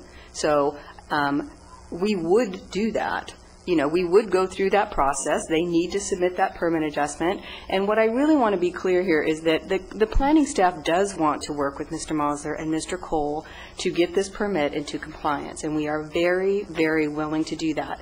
I, in looking back onto the record, sometimes before my time or before Dan's time, recognize there were mistakes to be made, and I do want to recognize those mistakes on staff's part.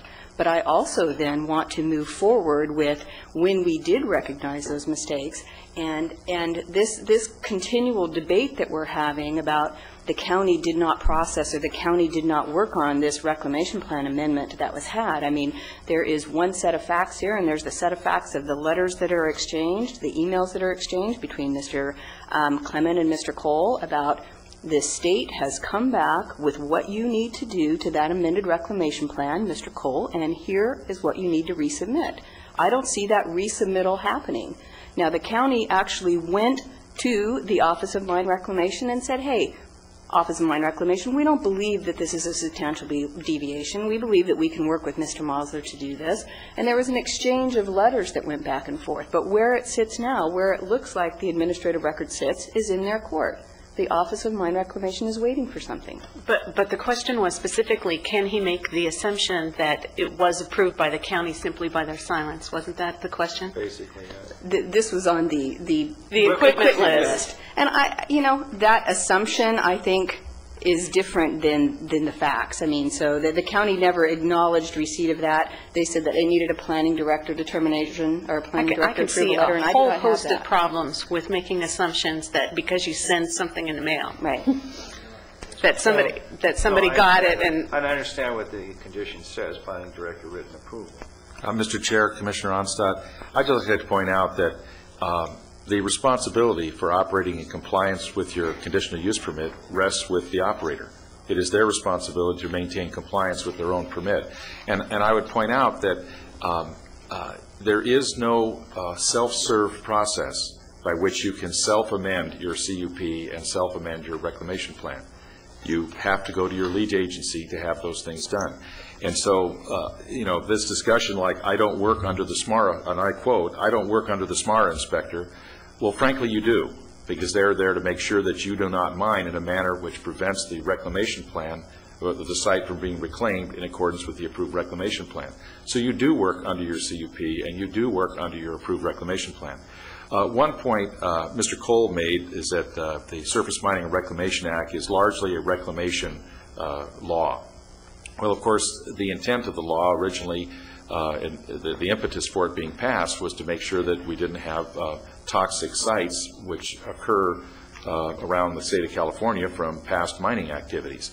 And, but it is the Surface Mining and Reclamation Act, and it actually guides mining. And I, I would point out that in Section uh, 2712, that's Public Resources Code 2712, it is the intent of the legislature to create and maintain an effective and comprehensive surface mining and reclamation policy with regulation of surface mining operations so as to assure, and then there's a list.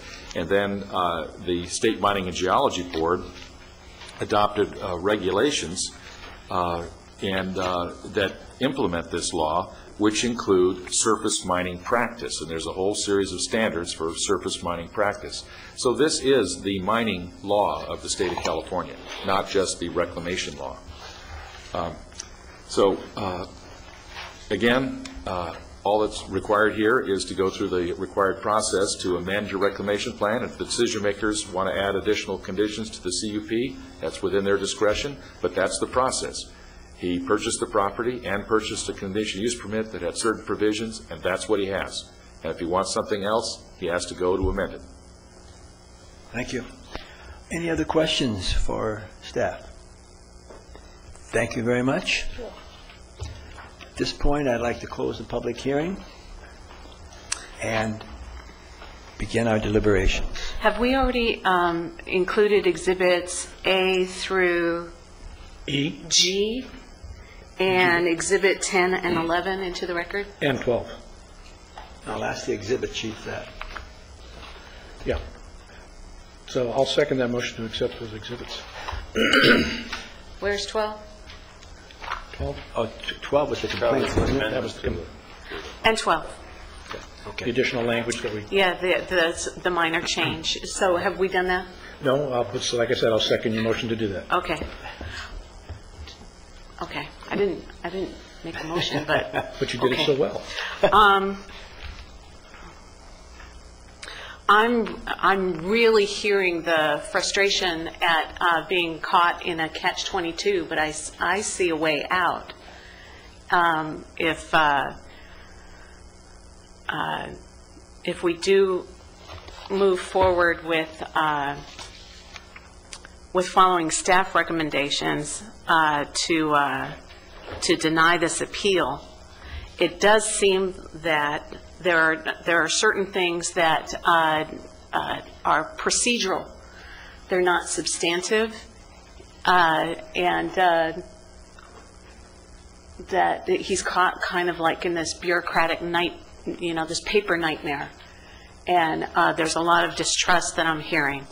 But um, I don't, uh, I can, I can, I can feel it and I can hear it, but um, I don't think that uh, this is, uh, moving forward, that this is insurmountable. Uh, So my, my feeling is, um, just, just to put it out there, that, uh, that uh, the case was not made that product trucks were intended to limit uh, the productivity of the mine and to limit uh, truck traffic to only product. Um, I, I found that very hard to believe. Also, the, uh, the notion of uh, truck queuing and everything, all of these things we're very familiar with. Uh, If it says 7 AM, it's 7 AM. If it's, it's, if it's 6:50, who cares? But um, if it's, uh, you know, outside of those hours, then, then it's a problem. It, uh, The, uh, the other notion, the other problems with the appeal, I didn't find that uh, the, uh, the appellant made his, his case. Um, I would, uh, I would follow the staff's recommend ac- recommended actions, but I'd like to see that things get moved forward, and uh, if there was some way that we could, uh, you know, drop it and get him out of this catch-22 and this impasse, if there was another path, I'd certainly be hope- open to hearing it. That is not a motion, that's just my opinion. Okay. Okay. You? Steve? Steve? Well, I have to support staff. I do have a problem with this equipment situation when a man submits two letters, and maybe he knew or should have known because the permit request says approved in writing by the planning director, but I have a problem that staff didn't direct him or say something to him. And so I do have a problem with that violation, but I uh, understand that he's technically in violation, and I would support staff recommendation, although I have a real problem with that particular situation. And I do feel sorry for him in that he is burdened by overwhelming regulations, which must be a horrible conflict and expense to him.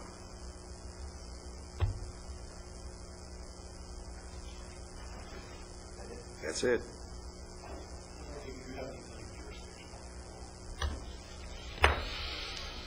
I, I agree with Commissioner Onstott that whenever you try to do anything like this, especially with mines, you're dealing with many, many organizations, and it must extremely be frustrating. But there's a reason, I guess, for this, because it's so important for safety, for transportation, for other aspects, for pollution, so I understand that. I certainly, I support the staff recommendations.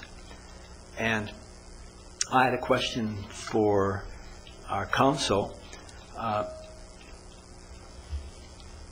The planning commission, I'm assuming, has the authority to modify a CUP, suspend a CUP, or revoke a CUP. Is that correct? That's what it says, that's what it said in our, in our agenda. Well, there, none of those actions are before you right now. Uh, Yes, I know that. Oh, yeah. I- I- You know, I'm not saying. Oh. be- Because we, there's no way that we can act on, on the modification, suspension, or revocation of the, of the permit. Not now, no. How would that have to come about?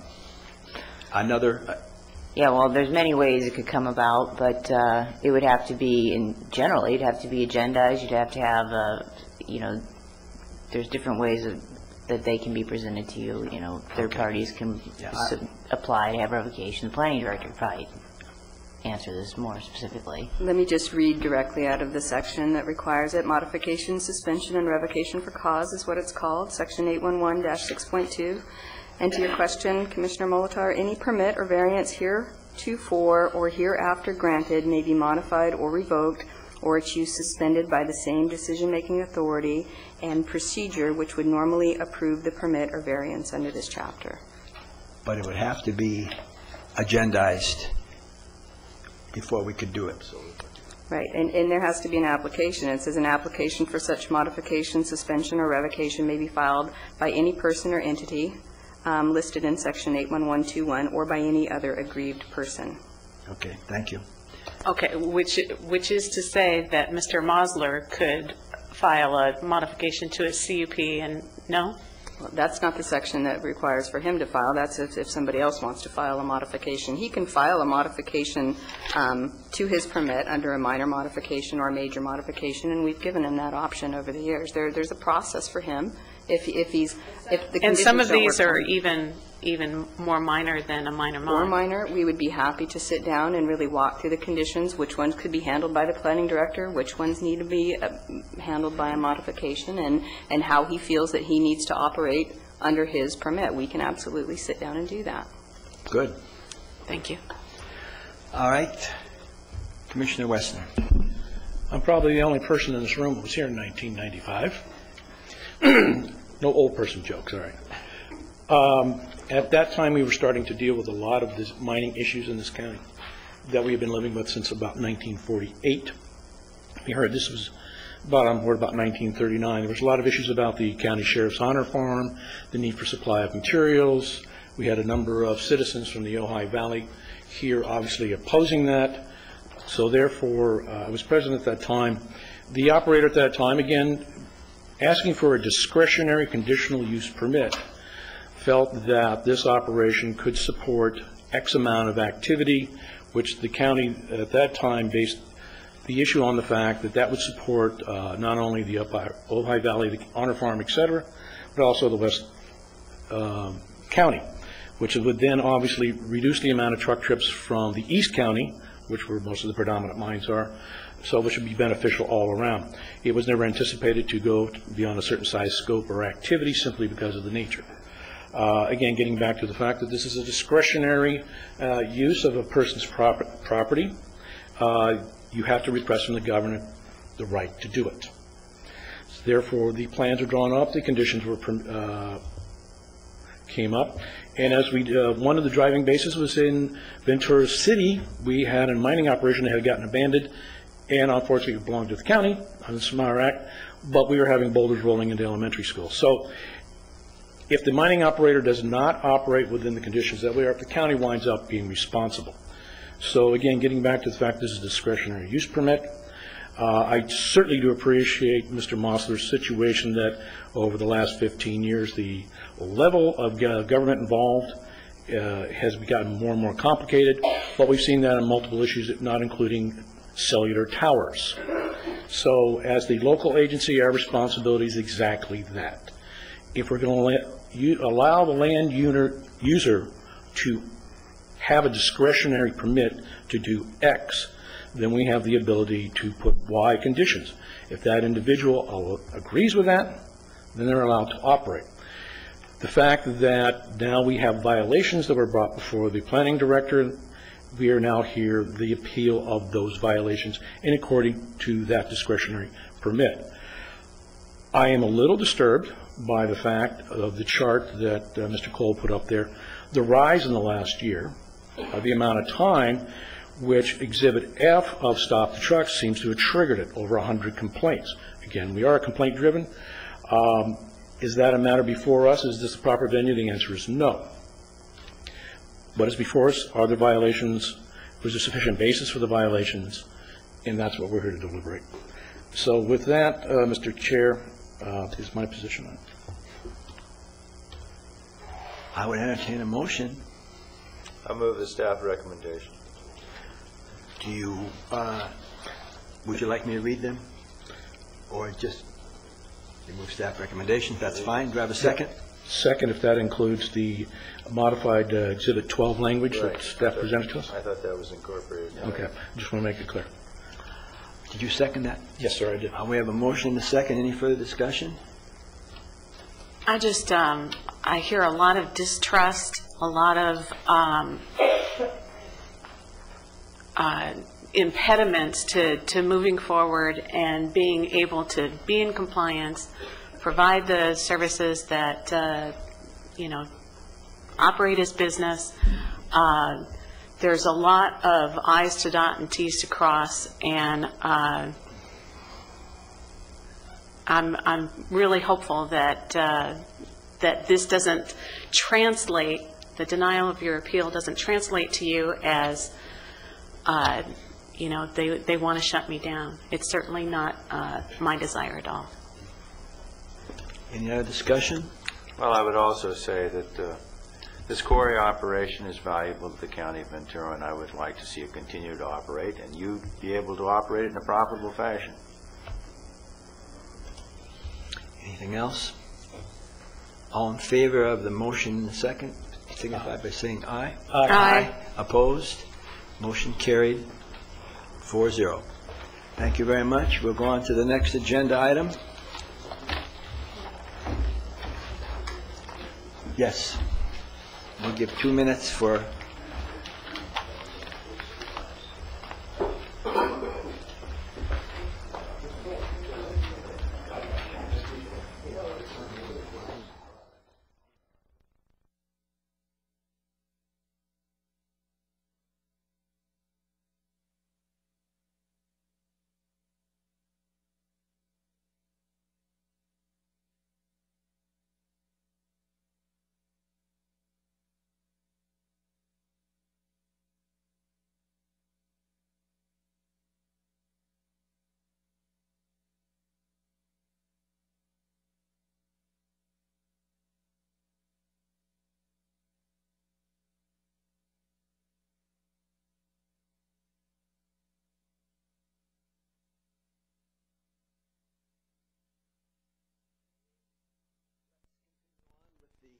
If we can, with the agenda items on a discussion, report by the planning director on board actions and other matters.